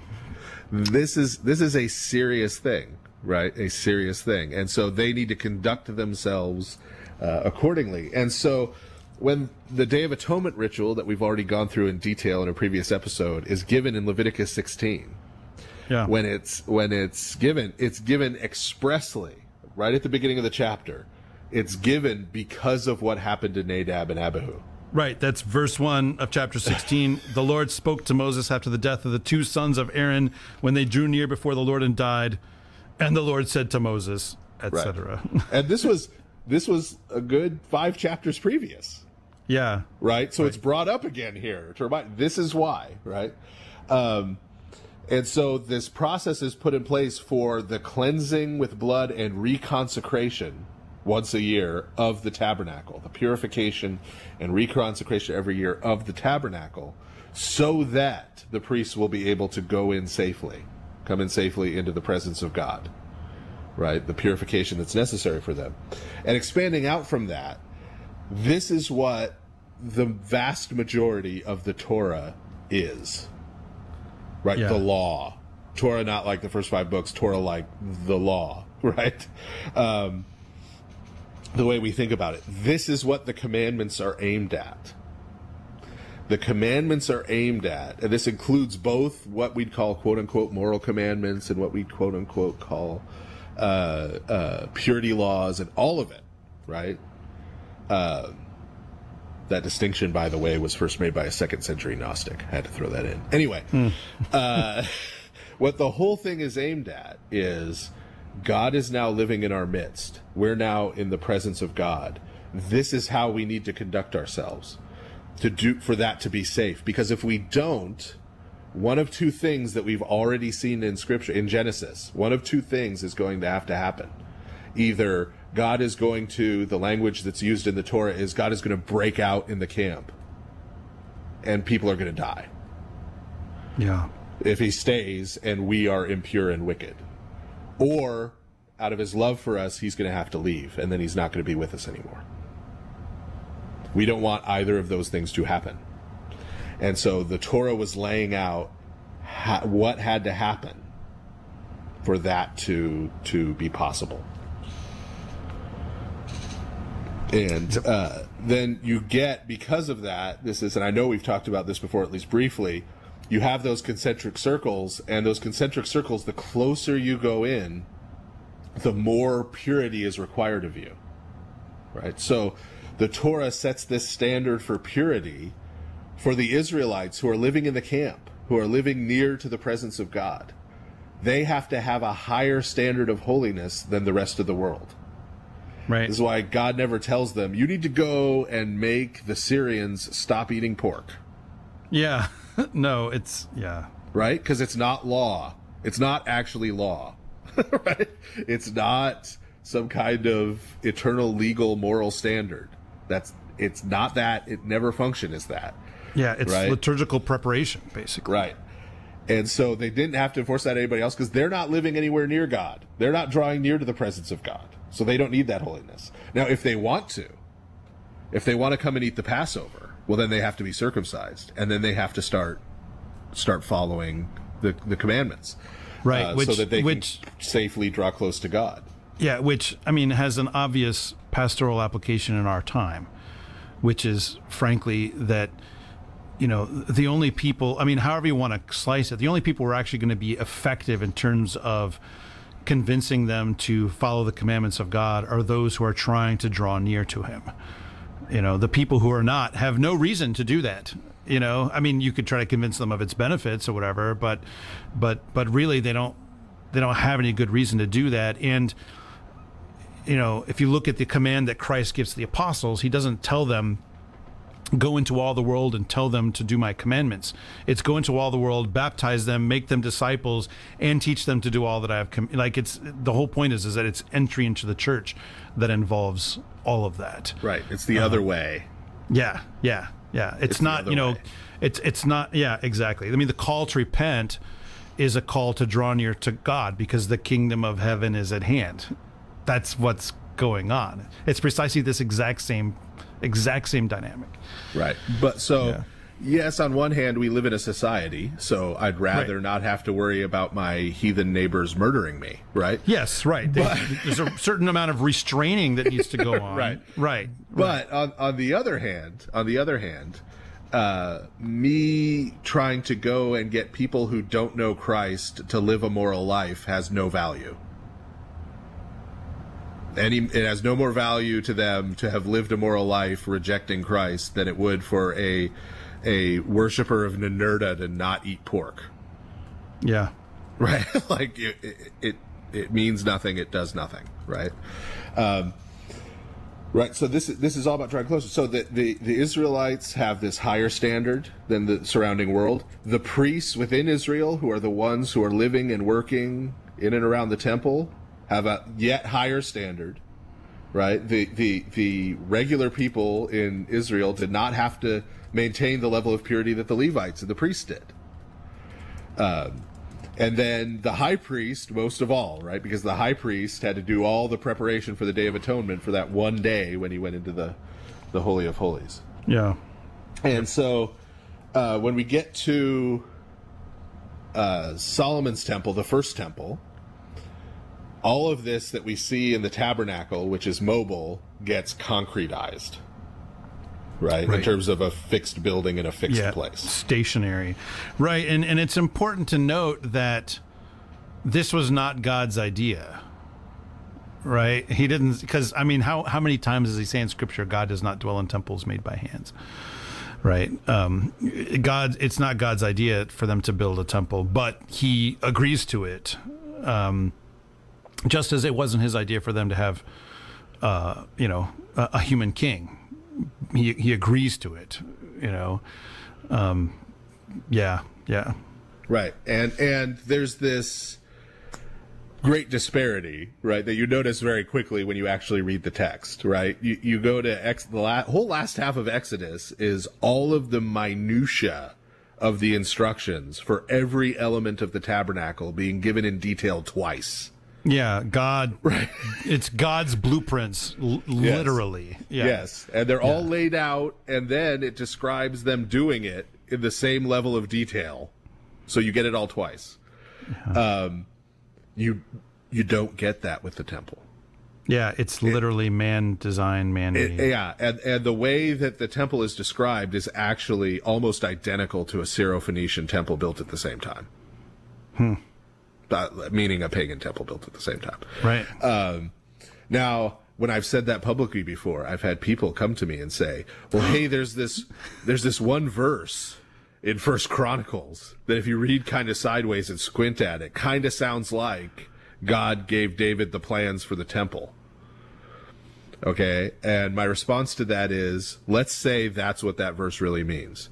Do you still think that one verse with a passing mention in First Chronicles is comparable to the whole second half of the book of Exodus in the Torah? You don't see any difference there. I, I just kind of love the fact that someone is reading the Bible so closely that they come to you with that, though. So that's great. Yeah, assuming they weren't Google searching to try and Yes, you know. there's that as well. Yeah. Yes, the Google School of Theology. but um, you you see this very clearly when you when you see the dedication, right? We're talking we talked about the dedication of the tabernacle. When you look at the dedication of the temple, you see this very clearly in terms of Solomon's prayer and then God's response, because Solomon's prayer is very much. I mean, it's it's virtually Tower of Babel kind of stuff. Hmm. It- it's moving in that direction, right? It's Lord, whatever anybody prays toward this temple, give it to them right? It's, you know, God, do all this stuff related to this temple as object, right? Um, it's very close to like, we want you to come live in this object, and then we're going to use that fact to get what we want from you, right? Good stuff. And so then the flip of that, God responds and goes into great detail about how he did not ask for a temple and he does not live in buildings made with human hands and he's not going to automatically do that. And if they keep the commandments, he will bless them. And if not, they're in trouble, right? He lays all that out. And then at the end basically says, but because I know you are human and weak and hard hearted, I will condescend and I will come to dwell in this building. Right. So then, then again, they do the purification with blood, the anointing with oil, and then you get once again the name of my next band, the Theophanic Glory Cloud. Right. Comes and fills fills the temple. Yeah. And so then this is the place where God is. Uh, Israel is destroyed by the Assyrians, the northern kingdom. Judah, right? God departs from the temple and they go into exile. And you see the two fates there, right? You see death with the northern kingdom. You see exile, right? God having to remove himself with Judah, with the southern kingdom. And he does that, again, so they won't be destroyed like the northern kingdom. Yeah. Because They be because they fell into evil. Right. They go into exile just like Adam and Eve were exiled from the garden so that they can repent and eventually and eventually return. Yeah. So then, after I don't know how long is it in the Babylonian exile? 70 years. Yeah, yeah. Uh, they come back and they rebuild the temple under Ezra. Um, so you got the second temple. Thus, this is our term, Second Temple Judaism, right? Right. Um, and and they they do the consecration service, the blood, the oil, but there's no theophanic glory cloud. That's a big difference. Right. Yeah. Right. Does that mean it doesn't work? That the the temp that they're not actually worshiping there? I mean, No, they're offering the sacrifices there. yeah, but it's sort But- of from a distance, like a Bette Right. Midler song. but there is no there is no direct experience of God happening there. And then Antiochus the Fourth Epiphanes, the Seleucid monarch, comes and desecrates that temple, and it falls into ruins. And the Maccabee brothers get torqued off and go and, and uh, stage their successful war uh, to reclaim uh, the temple and to regain their independence. And they go and they rededicate the temple and But- start the celebration of Hanukkah. But no theophanic glory cloud even after that rededication. Right. Yep. Right, even after all that. And so, um, this is something that in the Second Temple period they were keenly aware of. Yeah. like And- he God did not come back. Right. Yeah, and, and even and even then, I, I can't remember. I'm, I'm I'm the timeline is is not clear in my head. But the when the the Roman general Pompey actually, when was that in relation to the Maccabees? That was uh, 110 years later. The Maccabees were under Yeah, the Greeks. yeah, that's right. Yeah, so then the Romans come in, and the Roman general Pompey decides to go walk into the temple and go all the way into the holy of holies, in which, like, if if this had been 500 years before or whatever, would have meant. Um, he would have been struck dead before he even got in. But he goes back there and he just doesn't see anything. And he's like, oh, they must worship their God with their minds. You know, Yeah. like he's so impressed by that. But but literally, but it but but God's not back there. Yeah, He's not the. Ark of the Covenant isn't even back there. Yeah. all that's back there is literally an empty cherubic throne, Right. an empty throne. And so they they were aware of this, and this is part of why they understood themselves to still be in exile. Right? It wasn't Yeah. just that they were still being dominated by the Persians and then the Greeks and then the Romans, because there was that brief period with the Maccabees, with the Hasmoneans, when they were independent. Very brief. Uh, they made a treaty with Rome, and it was a bad idea. Uh, that's how they got annexed. But um, they were aware of this fact, right? God hasn't come back. Uh, we're still under foreign domination. This isn't it, right? And so we see this language in the New Testament of restoring the kingdom to Israel. We we see this language and these various groups, various Judaisms of this period relate themselves to the Temple of Jerusalem in different ways. Yeah. We tend to think that they all accepted it, but they didn't. So the the Qumran community that produced the Dead Sea Scrolls, their whole basis was of going out in the desert and doing sort of reconstructed temple rituals out there was because they rejected the validity of that temple. Right? They're like, God's not there. This temple's bogus. Uh, there were the, the Jewish community in Elephantine in, in Egypt who built their own temple there. I did not know that. Yes. Is there anything left to that? Is that around at all? Yeah, yeah, you could see where the Well of Souls was and stuff. You could see basically like the floor plan of the foundation. Suddenly, I'm Um, having Indiana Jones flashbacks here. But yeah. So, right, so so th- they were aware of this, that this hadn't happened, and that that they're looking toward deliverance, especially associated with the Messiah, and and this is part of what that deliverance is going to bring. Is not hmm. just you know we're we're so used to history being written in the 19th century German mode that you know we think oh they were all looking for a political messiah like that like Yeah. politics was separated from everything else at that time Yeah, no, Uh, they wanted they wanted God back in their worship center.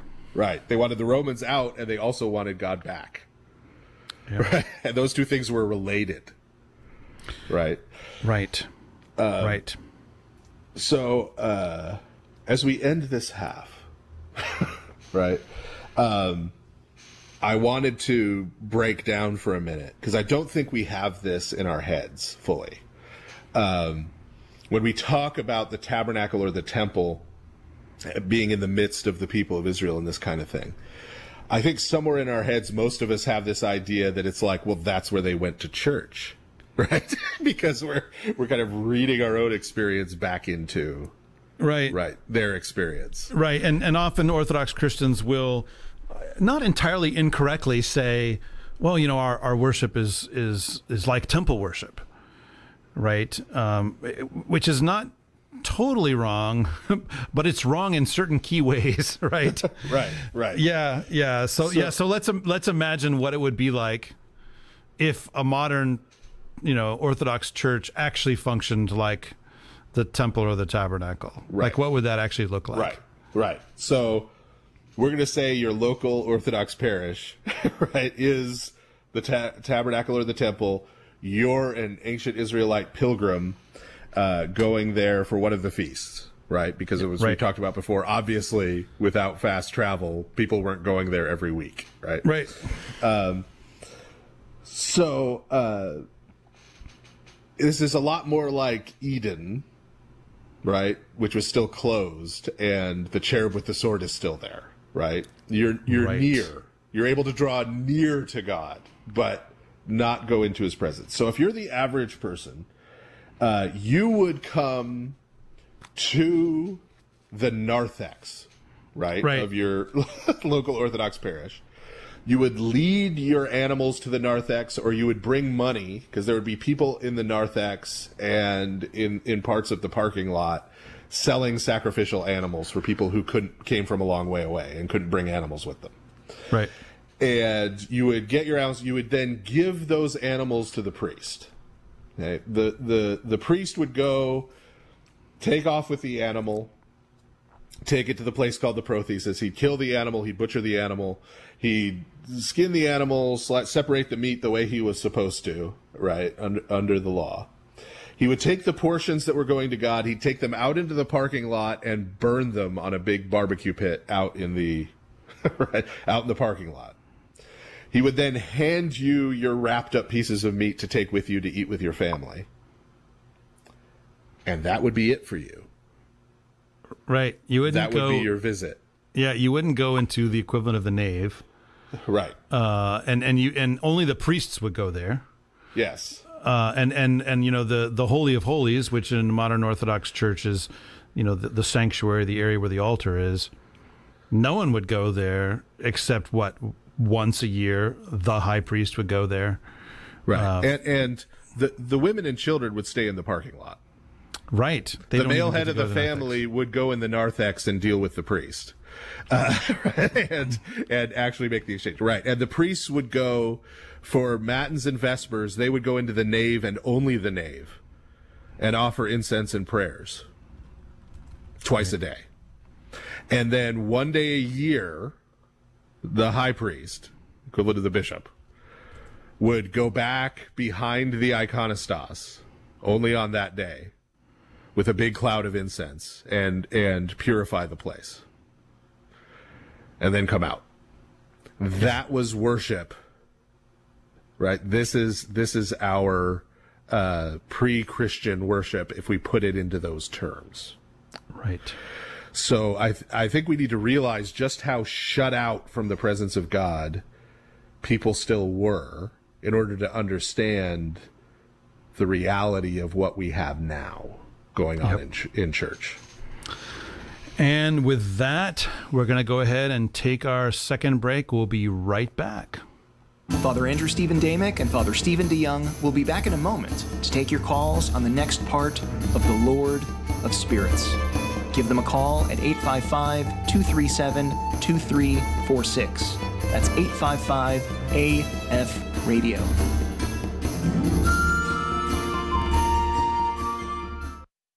No end of books these days offer us techniques for self improvement. But in the newest release from the Ancient Faith store, Gratitude in Life's Trenches, Robin Phillips takes a different tack. He shows us that God meets us where we are, in the pain and heartache of the present moment. Instead of looking for a way to escape from hardship, we can cultivate an attitude of gratitude, peace, and self acceptance that will transform our experience of suffering. Drawing on his own experiences and his work as a consultant in the behavioral health industry, as well as stories of saints and sufferers, teachings of the fathers, and recent discoveries in neuroscience, Phillips shows us that the journey to personal well being is one we can all travel, regardless of the hardships we may face. To find this book and others like it, you can go to store.ancientfaith.com. Again, that is store.ancientfaith.com. We're back now with the Lord of Spirits, with Father Andrew Stephen Damick and Father Stephen De Young. If you have a question, call now at 855 237 2346. That's 855 AF Radio. All right. Welcome back, and thank you for that, voice of Steve. Uh, we would we would love to hear from you, so do give us a ring. Okay, so we just talked about how the actual experience of a worshiper in ancient Israel was, and compared it against uh, our our our experience now as Christians, actually coming to church, coming into the nave, men, women, and children. Um, and actually having and seeing the veil opened to the holy of holies, you know, very different from uh, ancient Israel, um, and so there there has to be some kind of transition between these states. So let's talk now about what happens in the New Testament. There is a transition, and it starts with a young young girl. What was she about? What do they say she was? Two or three years old, I think. Yes, yeah. When she was Yeah. old enough to be brought to the temple, the Theotokos. Um, so this is a little bit pre New Testament. Okay. Yes. Yes. All right. Well. Slightly pre pre New Testament. Um, and uh, so we have we have a for for folks who are listening who aren't Orthodox, uh, we have a feast, right, of the entrance of the Theotokos into the temple. Uh, because as uh, has been handed down to us uh, by Christians since this happened, um, who I don't think are liars. The the Theotokos, uh, when she was born to her parents, they were at an advanced age, and so to give thanks to God for giving them uh, their child, uh, Saint Mary, they brought her to the temple to serve as uh, one of the uh, virgins there. Uh, this was an institution that already existed. It goes actually back to the tabernacle. Um, one of the rarely discussed uh, offices of the Old Covenant was that there are there were women who lived at the entryway to the tabernacle. Hmm. So they couldn't go into the courts of the tabernacle, but they lived just outside the gates. And they were dedicated to assisting the priests and the Levites in terms of sewing cloth, uh, preparing things, repairing things, uh, feeding people, um, taking care of all of these sort of duties. And so when the temple came about, um, and we know for sure because this is recorded, people talk about it with the second temple. But when the temple came about, obviously you have it now in one fixed place. You had these women who were dedicated to, and and they're referred to as virgins because they didn't get married. Right? Right. So rather than having res- having children, having responsibilities to a husband and children, they dedicated their lives to taking care of these things. And and because of that they had to maintain a higher level of purity because they're closer, right? Right. than the rest of than the rest of the people. And so the Theotokos was brought to be one of these women when she was a, a young girl. Right, which I mean, and just as a sidebar, I mean, what a what a contrast that is to what the nations were doing. Right, they Right. also had women that were that were hung around their temples At but they were, shrines, yeah. yeah, and shrines, and they were the opposite of of you know virginal, pure. Like it was, it was, yeah, exactly. Now we could be, we could be fair and throw the Romans the Vestal virgins, but that's a whole other discussion. yes, um, right. but but and, and th- this is also important and i won't delve into this right now but sometimes we get questions from our protestant friends about the importance of the theotokos as ever virgin that she was always a virgin through her whole life this is a big part of that Yeah, because she's been set aside for this. It, right. It's part of her dedication of her whole life and self to God. That's the focus of that, not anatomy. Right. Right. That's not primarily what it's about. Um, so, um, so th- this happened, and then uh, what what our forefathers of the faith have handed down to us is that then when she she came of age, because of those same purity laws, she could no longer remain in those temple precincts, right? And so that's when she was betrothed to Saint Joseph Right. as her protector. as as her protector, who was an older widowed uh, man who was to care for her, right?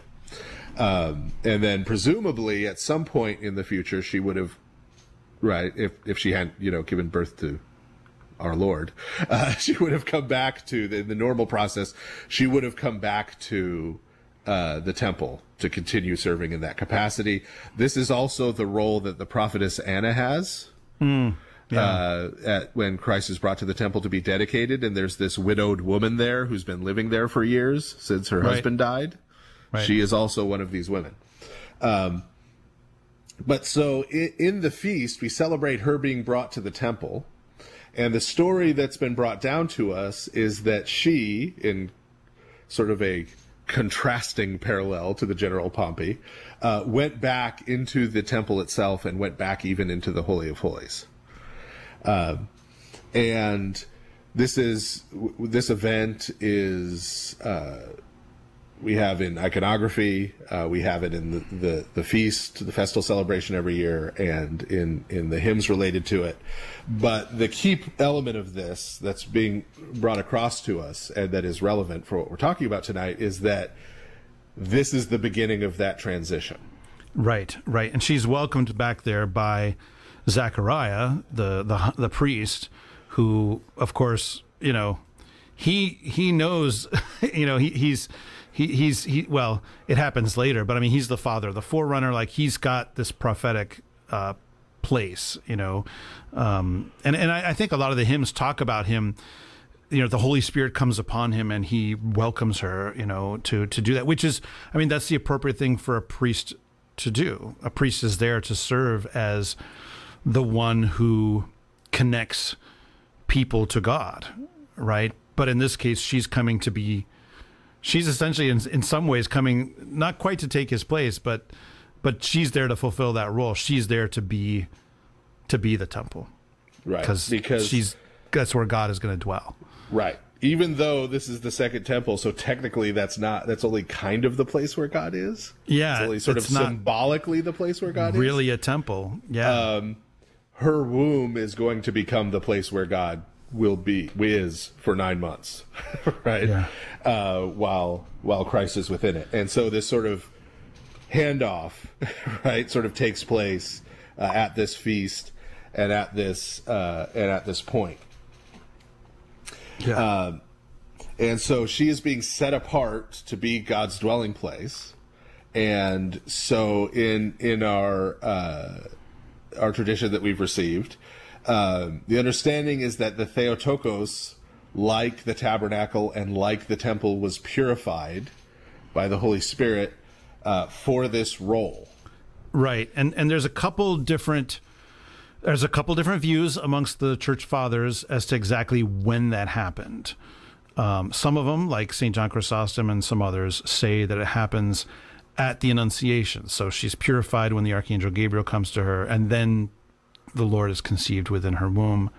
But then others um, say that she gets purified in her mother's womb, but notably after her conception. So after she's conceived in the usual way by her parents, God purifies her in the womb of Saint Anna, um, so that she is then prepared throughout her life. So there's variation on this point between some of the church fathers. That's okay. It's okay. It's all right. Right. right. They okay, all agree that she was purified. Yes, right? and that it happened. God was going to dwell. Yes, and they all agree that it happens before uh, the conception of the Lord, um, and uh, you know, it's just a question of exactly when before that. you Right. know? And, and someone might ask, why would she need to be purified in, in the womb, right? Obviously, she hadn't committed any sins, right, in the womb, right? Right. Um, but uh, the response to that, of course, is that, yeah, the goat hair flap of the tabernacle that Moses purified with blood and anointed with oil hadn't committed any sins either. right. Right. right? That's not Yeah. what it's about. It's not Yeah, moral guilt. Yeah, go go back and listen to our atonement episode for a full Right. treatment of that. It's about dealing with the residue of sin in the world. Right. Existing in the world. Yeah. right? Uh, and her being set apart for the special purpose and being being purified um, for this purpose. And and this isn't just this this crazy Mary thing that us Orthodox folks came up with, right? Um, Yeah, yeah. The- There are the- other there are other saints that experience this too. Right, right. So, in our our traditional understanding, right, Saint Saint John the Forerunner was purified and received the Holy Spirit in his mother's womb. That's why he was able in the womb to give testimony to who Christ was when the Theotokos came to visit Saint Elizabeth. Uh, the prophet Jeremiah says God set him apart from his mother's womb right to be Right. to be the prophet so th- this is this is something we see repeatedly in scripture and, and in the history of the church that there are Yeah. particular individuals who, who god sets aside and calls to a particular purpose. And when he does that he comes and he purifies them. And sometimes it's later in their life like st paul on the road to damascus. And sometimes it's all the way back in their mother's womb. Yeah, yeah, and and you know, like, eh, you know, sometimes you see something like that, and you might think to yourself, like, well, how come I wasn't purified in my mother's womb, and I, I you know, I have to struggle against sin and whatever, whatever, whatever. But number one, that that is simply not the way that the world works. But but number two, uh, like anyone who had this, they usually went through a whole lot of suffering uh, as they fulfilled God's purpose for them. You know, al- almost all of them. So, like, you know, it's not necessarily, it's not something you should ask for. You know, if it's something that God gives, then then you're responsible to that. Um, but it's not something that God gives to, to very many. There's certain people that He has a particular purpose for them, and so this is what happens. right and you don't necessarily really want to drink the cup the cup that they drank Right. And, and, and, and aren't there certain cases even where, like, if I remember correctly, we were just reading the readings last night uh, for the Feast of the Nativity of the Forerunner. And one of the readings is about Samson. And it doesn't say that he's, you know, from his mother's womb and yet that didn't turn out well ultimately, you know. Um, what samson didn't turn out well yes, heard- yes. I've never heard this before. Big sinner. Big Yeah, time sinner. okay, Big okay. time breaker of promises. If you to say God. so. If you Yeah, say massive- so, Father Andrew Damick. Murder slash suicide at the end. Yes. Yeah. Um, yeah. So, right, and and so so this is the like we said, this is the beginning of the change, right? And Yes. of course, right with with the Theotokos, right? The, the Theotokos, the the great gift she was given by God is that she got to participate in the salvation that comes through her son most fully and completely and directly and personally, right? Right. And so when Christ comes, we have all of this language, particularly concentrated in St. John's uh, Gospel, uh, regarding Christ being the new temple. Not the new temple to replace the second temple, the new temple like the one Ezekiel prophesied about during the exile Right. right that it wasn't that second temple that it's actually it's actually christ when he's born and so we see that at uh, holy theophany at christ's baptism in uh, john 1 32 through 34 the holy spirit comes and descends upon him and then rests within him comes to abide in him the presence of god comes and stays Almost like a theophanic glory cloud. Yeah. um, and then uh, in John 1, verse 14, as part of St. John's prologue, he says, literally in the Greek, the word became flesh and tabernacled among us. And we saw his glory, Yeah. and that he was full of grace and truth. Right? So that's the imagery of Christ's flesh being like the the uh, the curtains of the tabernacle, right? And God's presence, God is dwelling among us, right? In in the flesh of Christ, and He is full of glory, right? Like the glory, theophanic glory cloud that came and filled the tabernacle and the temple. Yeah, and and and you know to double down on his identification as the dwelling place of God as being the temple in John chapter 2 verses 19 through 21 this very famous passage where you know Jesus says uh, Jesus answered them, Destroy this temple, and in three days I will raise it up. And the Jews then said, It's taken 46 years to build this temple, and will you raise it up in three days? And then this amazing editorial comment from St. John, but he was speaking about the temple of his body. You know, that, that, that his body is the temple of God in their midst. Right. You know, And- it's it's not that building. It's it's him now.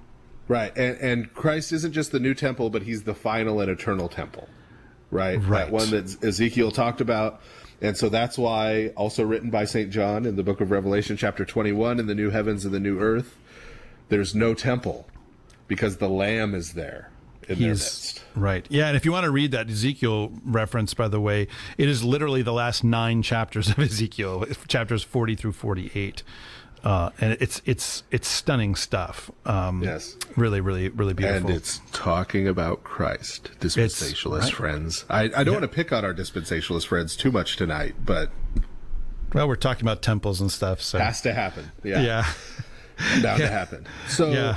now, oh, and so the, the other place where this language of, of a temple is used, of course, related to the Holy Spirit, is St. Paul, right. right? And he talks about this at a couple points in 1 Corinthians, in 1 Corinthians 3 16 and 17 and 6 19, where he says that our body is the temple of the Holy Spirit, right? Uh, and so again, the wait, Holy wait, Spirit, yeah. That's not just about like you eat right and don't smoke or drink. Your body is a No. temple of holy. Oh, oh, No. okay. No, I'm I'm more on the side of the meme that my body is a temple. It's broken down, abandoned, and decrepit. Right? like, so, but Not one stone shall remain upon another. so, um, but right, Yeah, y'all, y'all's y'all's body is a temple of the Holy Spirit. right, Yeah. and this isn't this sort of separate, independent thing, right? Where where there's now a whole bunch of temples, right? Not just Christ. Right. It's it is as- disgraced. Right. As St. Paul says in Galatians 3, verse 27, if we've been baptized into Christ, we've put on Christ. That's why St. Paul says in Christ after just about everything, right? He just adds it on to almost every sentence, right? that we, our bodies the temple of the Holy Spirit in Christ. So Christ shares his templeness or templeitude, right? with us. Tempelosity. Yeah. with us. Right? If we are in Christ, then we are functioning as part of as a member of his body, right? Yeah, because Which is we're, the temple. We're his nexus of potentialities. Right. Right. And so now, Dun dun dun. in our Pentecost episode, we're going to talk about Pentecost. yes. But there's even gonna- a little bit of build up to that. right right yes yes we prepare to prepare to prepare see our, our podcast really works like the orthodox liturgical year you Yes. know it's just it's a year every episode Yes. or This a major is- yeah yeah major liturgical season Yeah, there, there's a reason for this, and only a few people out there will know what I'm talking about. But I had too much Yale School preaching in my ba- background, so that's how you end up structuring things like this. But um, so.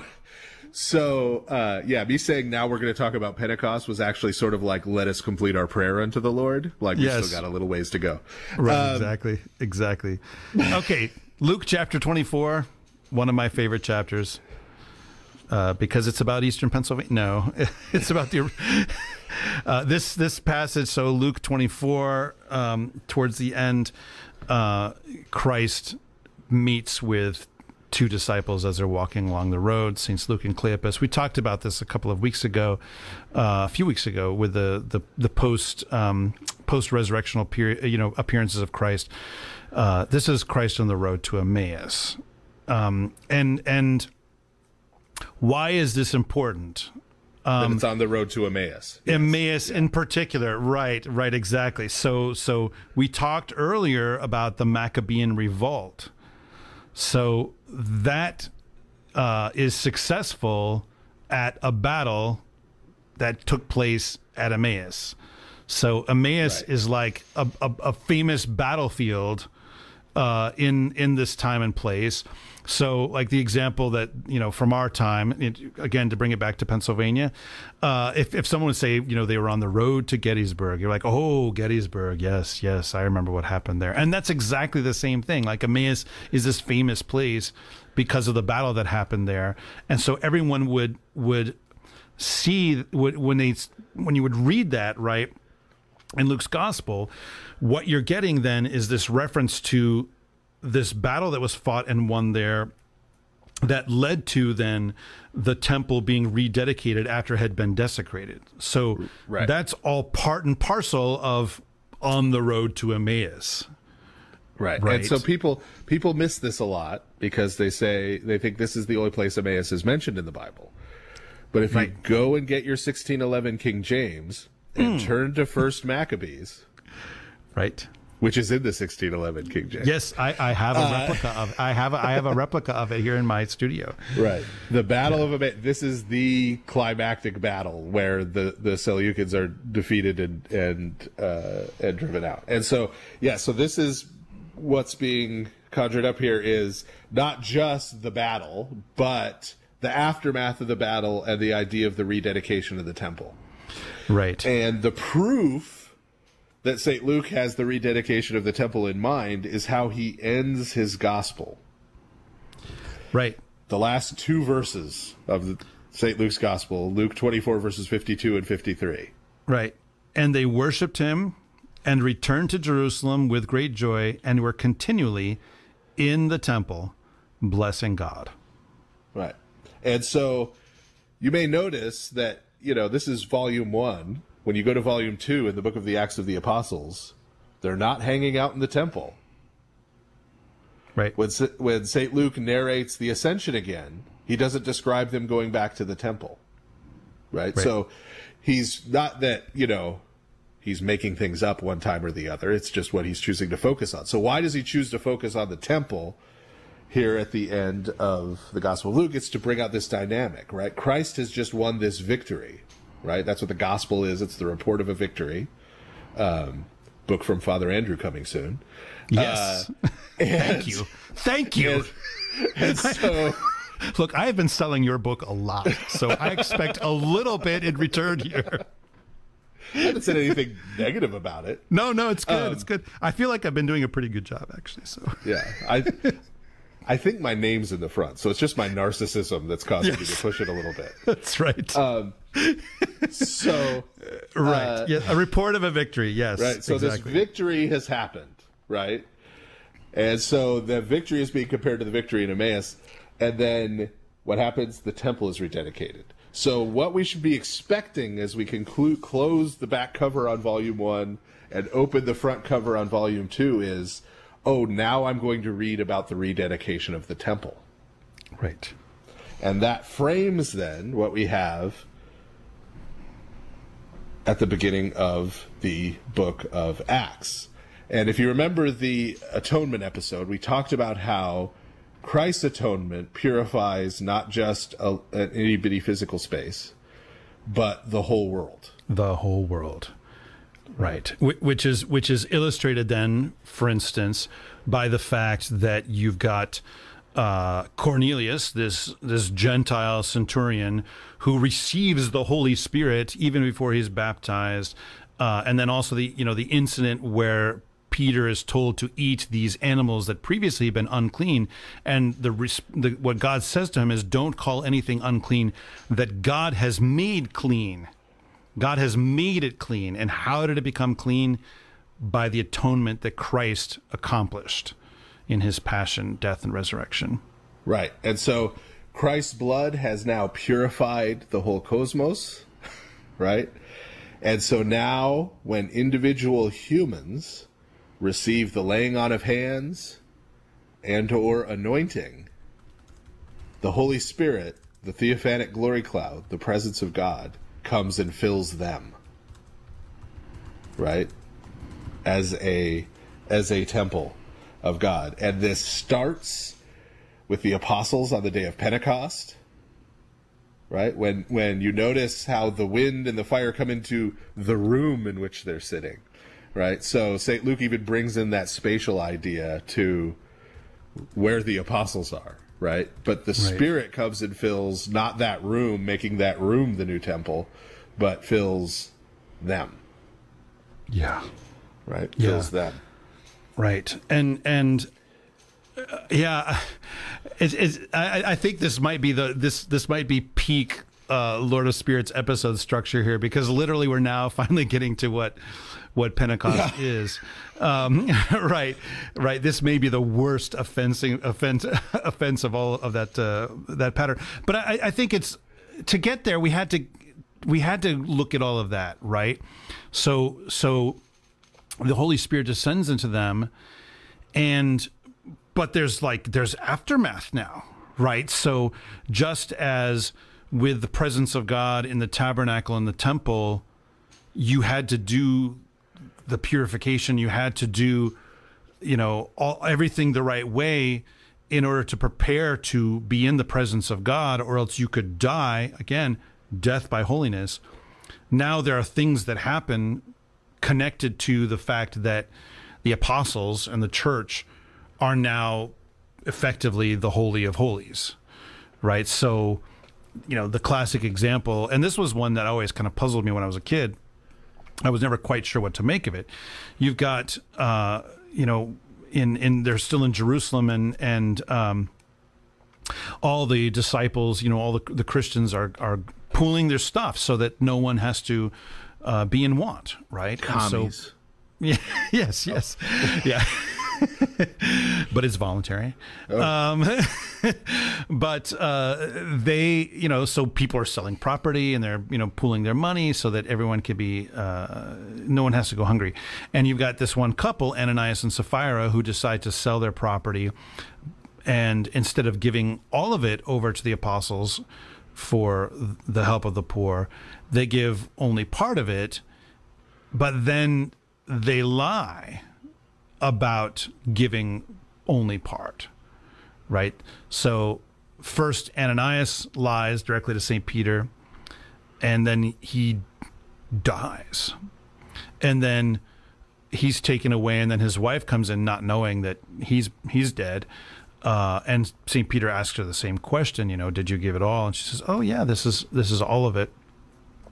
Which is, as a sidebar, is an interesting note that she is as a as a Christian, she as a Christian woman, she is answering for herself. She's not simply being lumped in with whatever her husband happens to say. Like she's actually responsible for herself, which is a very different role for women in the ancient world. Uh, you know, um, and and she lies also, and and then also dies. And uh, you know, when I was a kid, I read that. I'm like, that seems a little extreme, Lord. You know, like like I mean not that I have any business second second guessing, you know, God's judgments, but but but understanding it in terms of this question of death by holiness. You know, they they, they are literally bringing an offering to God, right? But doing it in a bad way and lying. That's why and, they die. And St. Peter says, You have not lied to men, but to, to men, the Holy Spirit. But to the Holy Spirit. The Holy Spirit cannot long contend with human wickedness. And so Ananias and Sapphira are the Nadab and Abihu of the new covenant. It follows yeah. the St. Luke follows the same pattern here at the beginning of Acts as the dedication right. of the tabernacle. And so then what comes in terms of the Christian life, right? They serve as this kind of warning. Right? And so if we are members of Christ's body and therefore our body is the temple of the Holy Spirit and the Holy Spirit is in our midst, and Christ is in our midst when we gather in worship, then rather than the commandments and the way that the Torah works in our life being like the old covenant, where it was about purifying this physical space, this external physical space, and maintaining its purity in these concentric circles. Now it's gone interior. Right. Right. And right. so that's why the Christian life becomes about repentance. It comes about cleansing and purifying and rededicating ourselves. Yeah. not a space. Right. Yeah, it's. I mean, it's. I don't know the right word to use. It's but it's really powerful to to look at what's going on in the Old Testament there with the tabernacle and the temple and realize that, that actually now applies to us as as persons because we are we fulfill that role now. If as in as much as we are in Christ. Um, yeah, yeah. All right. Well, let's give some final comments. Um, there's uh, the first place I want to start is with that final point, right? Which that that um, when we undertake the fasting, the prayer, the repentance, the asceticism, all of these things that are part of Orthodox Christian life, um, you know, when we undertake these things, it, it's it's it's. I think often we can uh, receive that stuff as like there's one way which is people like oh it's this burden I have to have because I'm Orthodox, um, or sometimes people take it as being like a you know, sort of like a, a, a, hyper macho thing, like, oh, look at us, we're like the Marines of Christianity. We fast, we pray, we long services, like, right, you know, all, that those ways of looking at it. But but fundamentally, those are kind of almost materialist ways of understanding these spiritual practices, right? Um, they are disciplines, but a discipline has a purpose. It's not merely just to be disciplined, right? Um, the discipline has a purpose, and the purpose is to prepare us to be in the presence of God. And when we when we don't do that, then we degrade because it it's it's not it's not good for us to be in the presence of God. And sometimes that degradation can go get so extreme and our, our sin becomes so extreme that we have to be removed from communion until such time as we are prepared to return again. Right? So it's it's it's it's purification so that we can worship God, so that we can be in his presence, you know, so that we can be within within the the the the that within the temple, right? We talked earlier about what would Orthodox Church life look like if it actually functioned like the tabernacle and temple, and how separated we we would be from God. Now we have the opportunity to be right there in the place where the where the sacrifice is offered. We have to prepare ourselves to do that. That's what this life is for. It's not just sort of like self discipline or it's not self help or becoming better person. It, it you know it, it, can do those things, but that's not what it's for. Um, and the other side I wanted to mention in in my final remarks is that with the descent of the Holy Spirit into the church and we being in Christ and being his body, being now the temple of the living God, then what that means is uh, the task that Adam and Eve were given back way back in paradise where we started has now been restored to us and we've been given the ability to actually take it further than they they could have when they were first created because of their immaturity you know?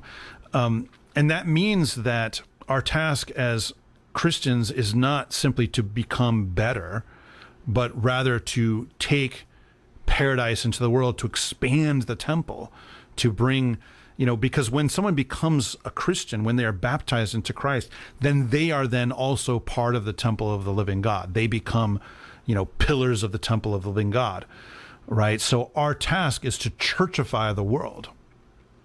And we do that uh, not only by the the act of evangelism although that is absolutely critical right uh, evangelism is a message. It's the it's the announcement of Christ's victory, um, but it's also to to take on this role of of you know be fruitful, multiply, cultivate the earth, and that doesn't just mean make sure you have a well mowed backyard. It means bringing God's love and justice and compassion to the people around you. Right. This is what the task is this is how we bring the presence of God and his his making things right and putting things them in order. That's how we participate in that. So this is god's act. It's god god is the one who expands eden but it's our task to be the the instruments by which that happens. So there is both an internal side to it in terms of our own attention to our purification, to meet God, to worship God, to commune with God. And then there's also this external, outward, initiative taking, outgoing side to it as well, where we are to, to serve those around us, to sacrifice ourselves for those around us, so that they too can participate in this same life. That's, that's its purpose. All right. What you got for the end, Father Stephen? Okay. so, uh, humans are like TARDISes. Yes. They're bigger on the inside. and I want to focus a little on, we already brushed on, on this a little bit, but the Holy Spirit comes and writes the law, writes the Torah in our hearts. And this is how the New Testament expresses, and the Old Testament pro- prophesying that it would happen, talks about that internalization of the law that we were talking about right at the end. And despite the fact that we've probably all heard or read that a thousand times, uh, I don't know how much it has sunk in for us because we still have this focus on the outside and on the external and on our interactions out there with the world. When we think about commandments, whether we're thinking about the Ten Commandments of the Old Testament, we're thinking about the commandments of Christ, we're thinking outside. But what this internalization means, and you see it reflected everywhere in Christ's teaching in the Gospels.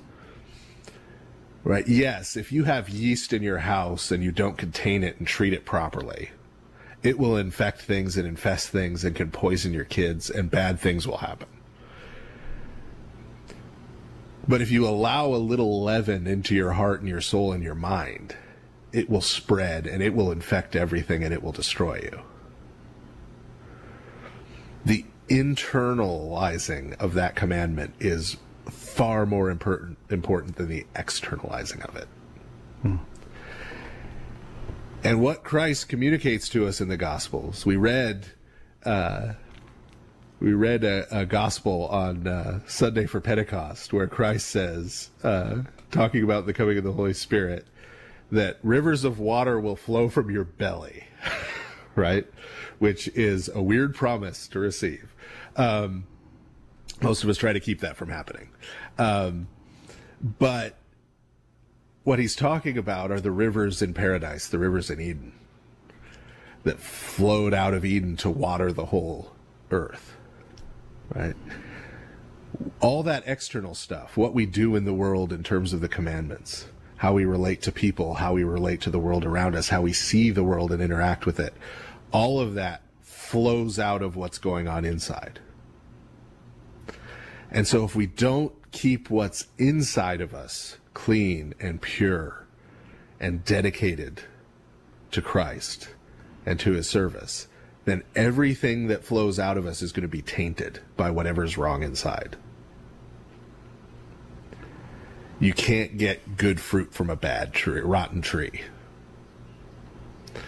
And so I think what we need to be reminded of maybe is that keeping the commandments of Christ, living the Christian life, always begins by going back into the paradise that's inside of us that the Holy Spirit is put there when we received Him within ourselves. And maintaining that space with all the zeal that the Levites and the priests of the old covenant had.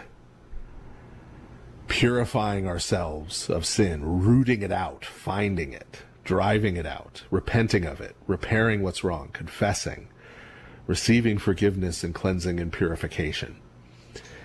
And once we maintain that, all of these other things will flow out naturally. The love, the joy, the peace, the patience, the kindness, the goodness, the faithfulness, the gentleness, the self control, all the fruits of the Spirit will blossom forth when we've done the hard work of getting into the mess and the brokenness and the dirt and the grime and the ugliness that's still lingering around in different places inside of us. So, uh, we talk a lot, and and Father Andrew just talked about, uh, and rightfully so, our need to go out into the world, but we also need to not forget to go inside of ourselves and take care of the temple, care for the temple, purify and rededicate the temple uh, that lies within us. And so now I have a question for Father Andrew. Oh boy. If I sing Spring Up, O Well, will you yell the splish splash oh, in the background? Wow. that is a very dim, dim memory in, in, a very shriveled part of my brain. Glad to bring it back. Thank you. All right. Well, with on that note, that is our show for tonight. Thank you very much, everyone, for listening. If you didn't get a chance to call in during the live broadcast, we'd love to hear from you either via email at lordofspirits at ancientfaith.com or you can message us at our Lord of Spirits podcast Facebook page. We do read everything, but we can't respond to everything. But we do save what you send for possible use in future episodes. And join us for our live broadcasts on the second and fourth Thursdays of the month at 7 p.m. Eastern, 4 p.m. Pacific. And if you are on Facebook, like our page, join our discussion group, leave reviews and ratings everywhere, but most importantly, share this show with a friend whom you know is going to love it. Or even if you just think they'll love it, go yeah. ahead and share it. Yeah. And finally, be sure to go to ancientfaith.com stroke support and help make sure we and a lot of other AFR podcasters stay on the air. Thank you very much, and may God bless you always.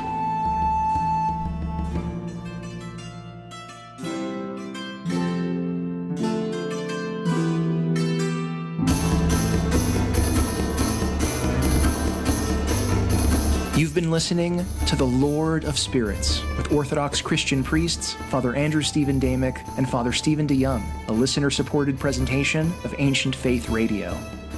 And I beheld, and I heard the voice of many angels round about the throne, and the beasts, and the elders, and the number of them was ten thousand times ten thousand, and thousands of thousands, saying with a loud voice, Worthy is the Lamb that was slain to receive power, and riches, and wisdom, and strength and honor and glory and blessing.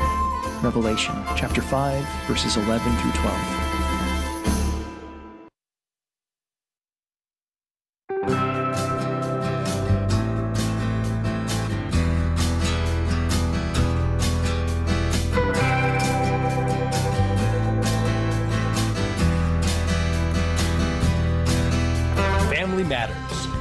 Empowering marriages and families in the faith. The Center for Family Care, a ministry of the Greek Orthodox Archdiocese, nurtures and empowers families, helping them navigate the joys and challenges of life. Its ministry focuses on equipping families to apply the teachings and practices of the Orthodox faith to every dimension of their lives. This podcast will feature interviews, reflections, book reviews, and narratives that will encourage dialogue and strengthen families. Welcome to Family Matters.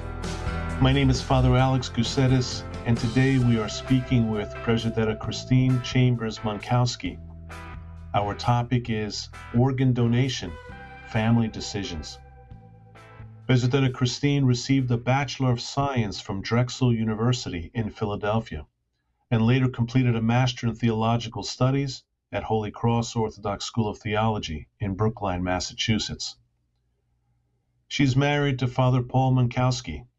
Their parish, Saints Cyril and Methodius in Lorain, Ohio, is under the Bulgarian Diocese of the OCA.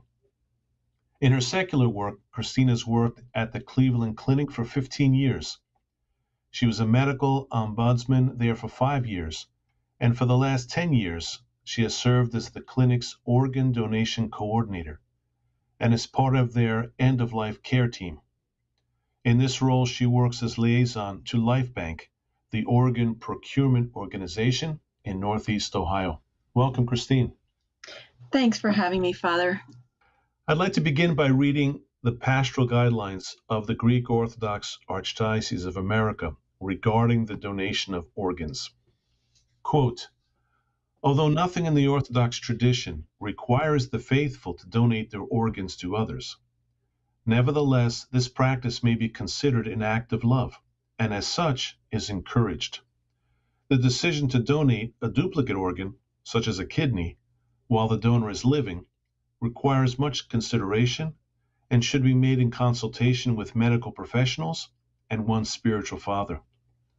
The donation of an organ from a deceased person is also an act of love that offers the recipient a longer, fuller life. Such donations are acceptable if the deceased donor had willed such action, or if surviving relatives permit it, providing that it was in harmony with the desires of the deceased. Such actions can be approved as an expression of love and the self determination of the donor. In all cases, respect for the body of the donor should be maintained.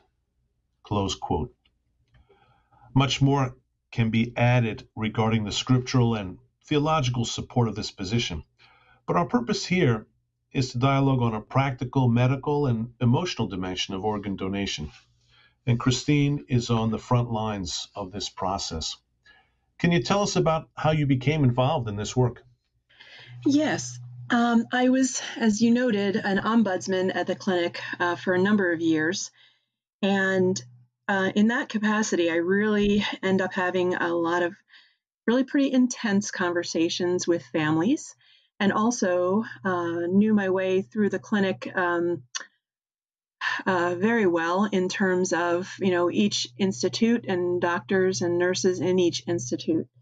Um, so it put me in a particularly um, unique situation when the position became available uh, for the organ donation coordinator. A friend of mine had recommended me for the position, and I'm really glad he did. I think it's one of the few things I would have um, wanted to do outside of being an ombudsman. Ombudsman was a fabulous job, but this is pretty incredible. So it's really given me a quite a I can say more than perfect time. I mean, it's a tough time to be with people at the end of life, but it is clearly a very um, sacred time to be with people. So I really, as I got more involved with the role um, and really developing our end of life care team at the clinic, um, it, it just has given me an opportunity really to work very closely with families and discuss this decision outside of the hospital and inside the hospital. And so I welcome the opportunity today. Thank you. So, what's the process or the procedure of organ donation? So, as the statement you read from the church notes, Father, there's living donation and then there's donation from a deceased donor. So, uh, what most people see in the news with the living donation is a person is evaluated by the hospital's living donor team, uh, confirms that they're a match for the recipient, and then a surgery date is scheduled. Usually, this is kidney or liver. And that organ is recovered from the living donor and then immediately transplanted into the recipient. So they both stay in the hospital to recuperate. But today we're talking really about deceased donor situations. And that's a lot more complicated uh, than what we just described in the living donor situation. So, first of all, when we say organ donation, we're actually talking about organ, tissue, and eye donation. An organ donation can be considered for patients at end of life who are on a ventilator. So, that would be patients who are in an intensive care unit in the hospital. Tissue and eye donation can be considered for those patients in the intensive care unit we just discussed, but also it's considered for every deceased person immediately. So, immediately following their death, they can be considered for donation, whether that be in a hospital, a hospice, or a care facility. So, when we focus on donation, organ donation itself, I think we really have to be honest to say that most people are not familiar at all about how this miracle of donation actually works. We see it on TV and in the movies, and suddenly uh, someone has uh, donated an organ and the other person uh, has received the organ, and then immediately following that, the families are meeting and thrilled at what has happened. But that's not the reality. It's a complex process and it's designed to ensure that the gifts of the donor save as many lives as possible. But I think it's important to first talk about for a minute who can actually donate organs. Um, so, not everyone passes away uh, in a manner where they can be an, an organ donor. In fact, a very small percentage of people die in a manner that allows them to have their organs recovered for transplant. Um, as we mentioned, uh, I mentioned a little earlier, the person is on a uh, ICU, so the organs have to be continued to receive blood, and they have to be viable for transplant. The person must be on a ventilator. Um, so in most of these situations, the potential donor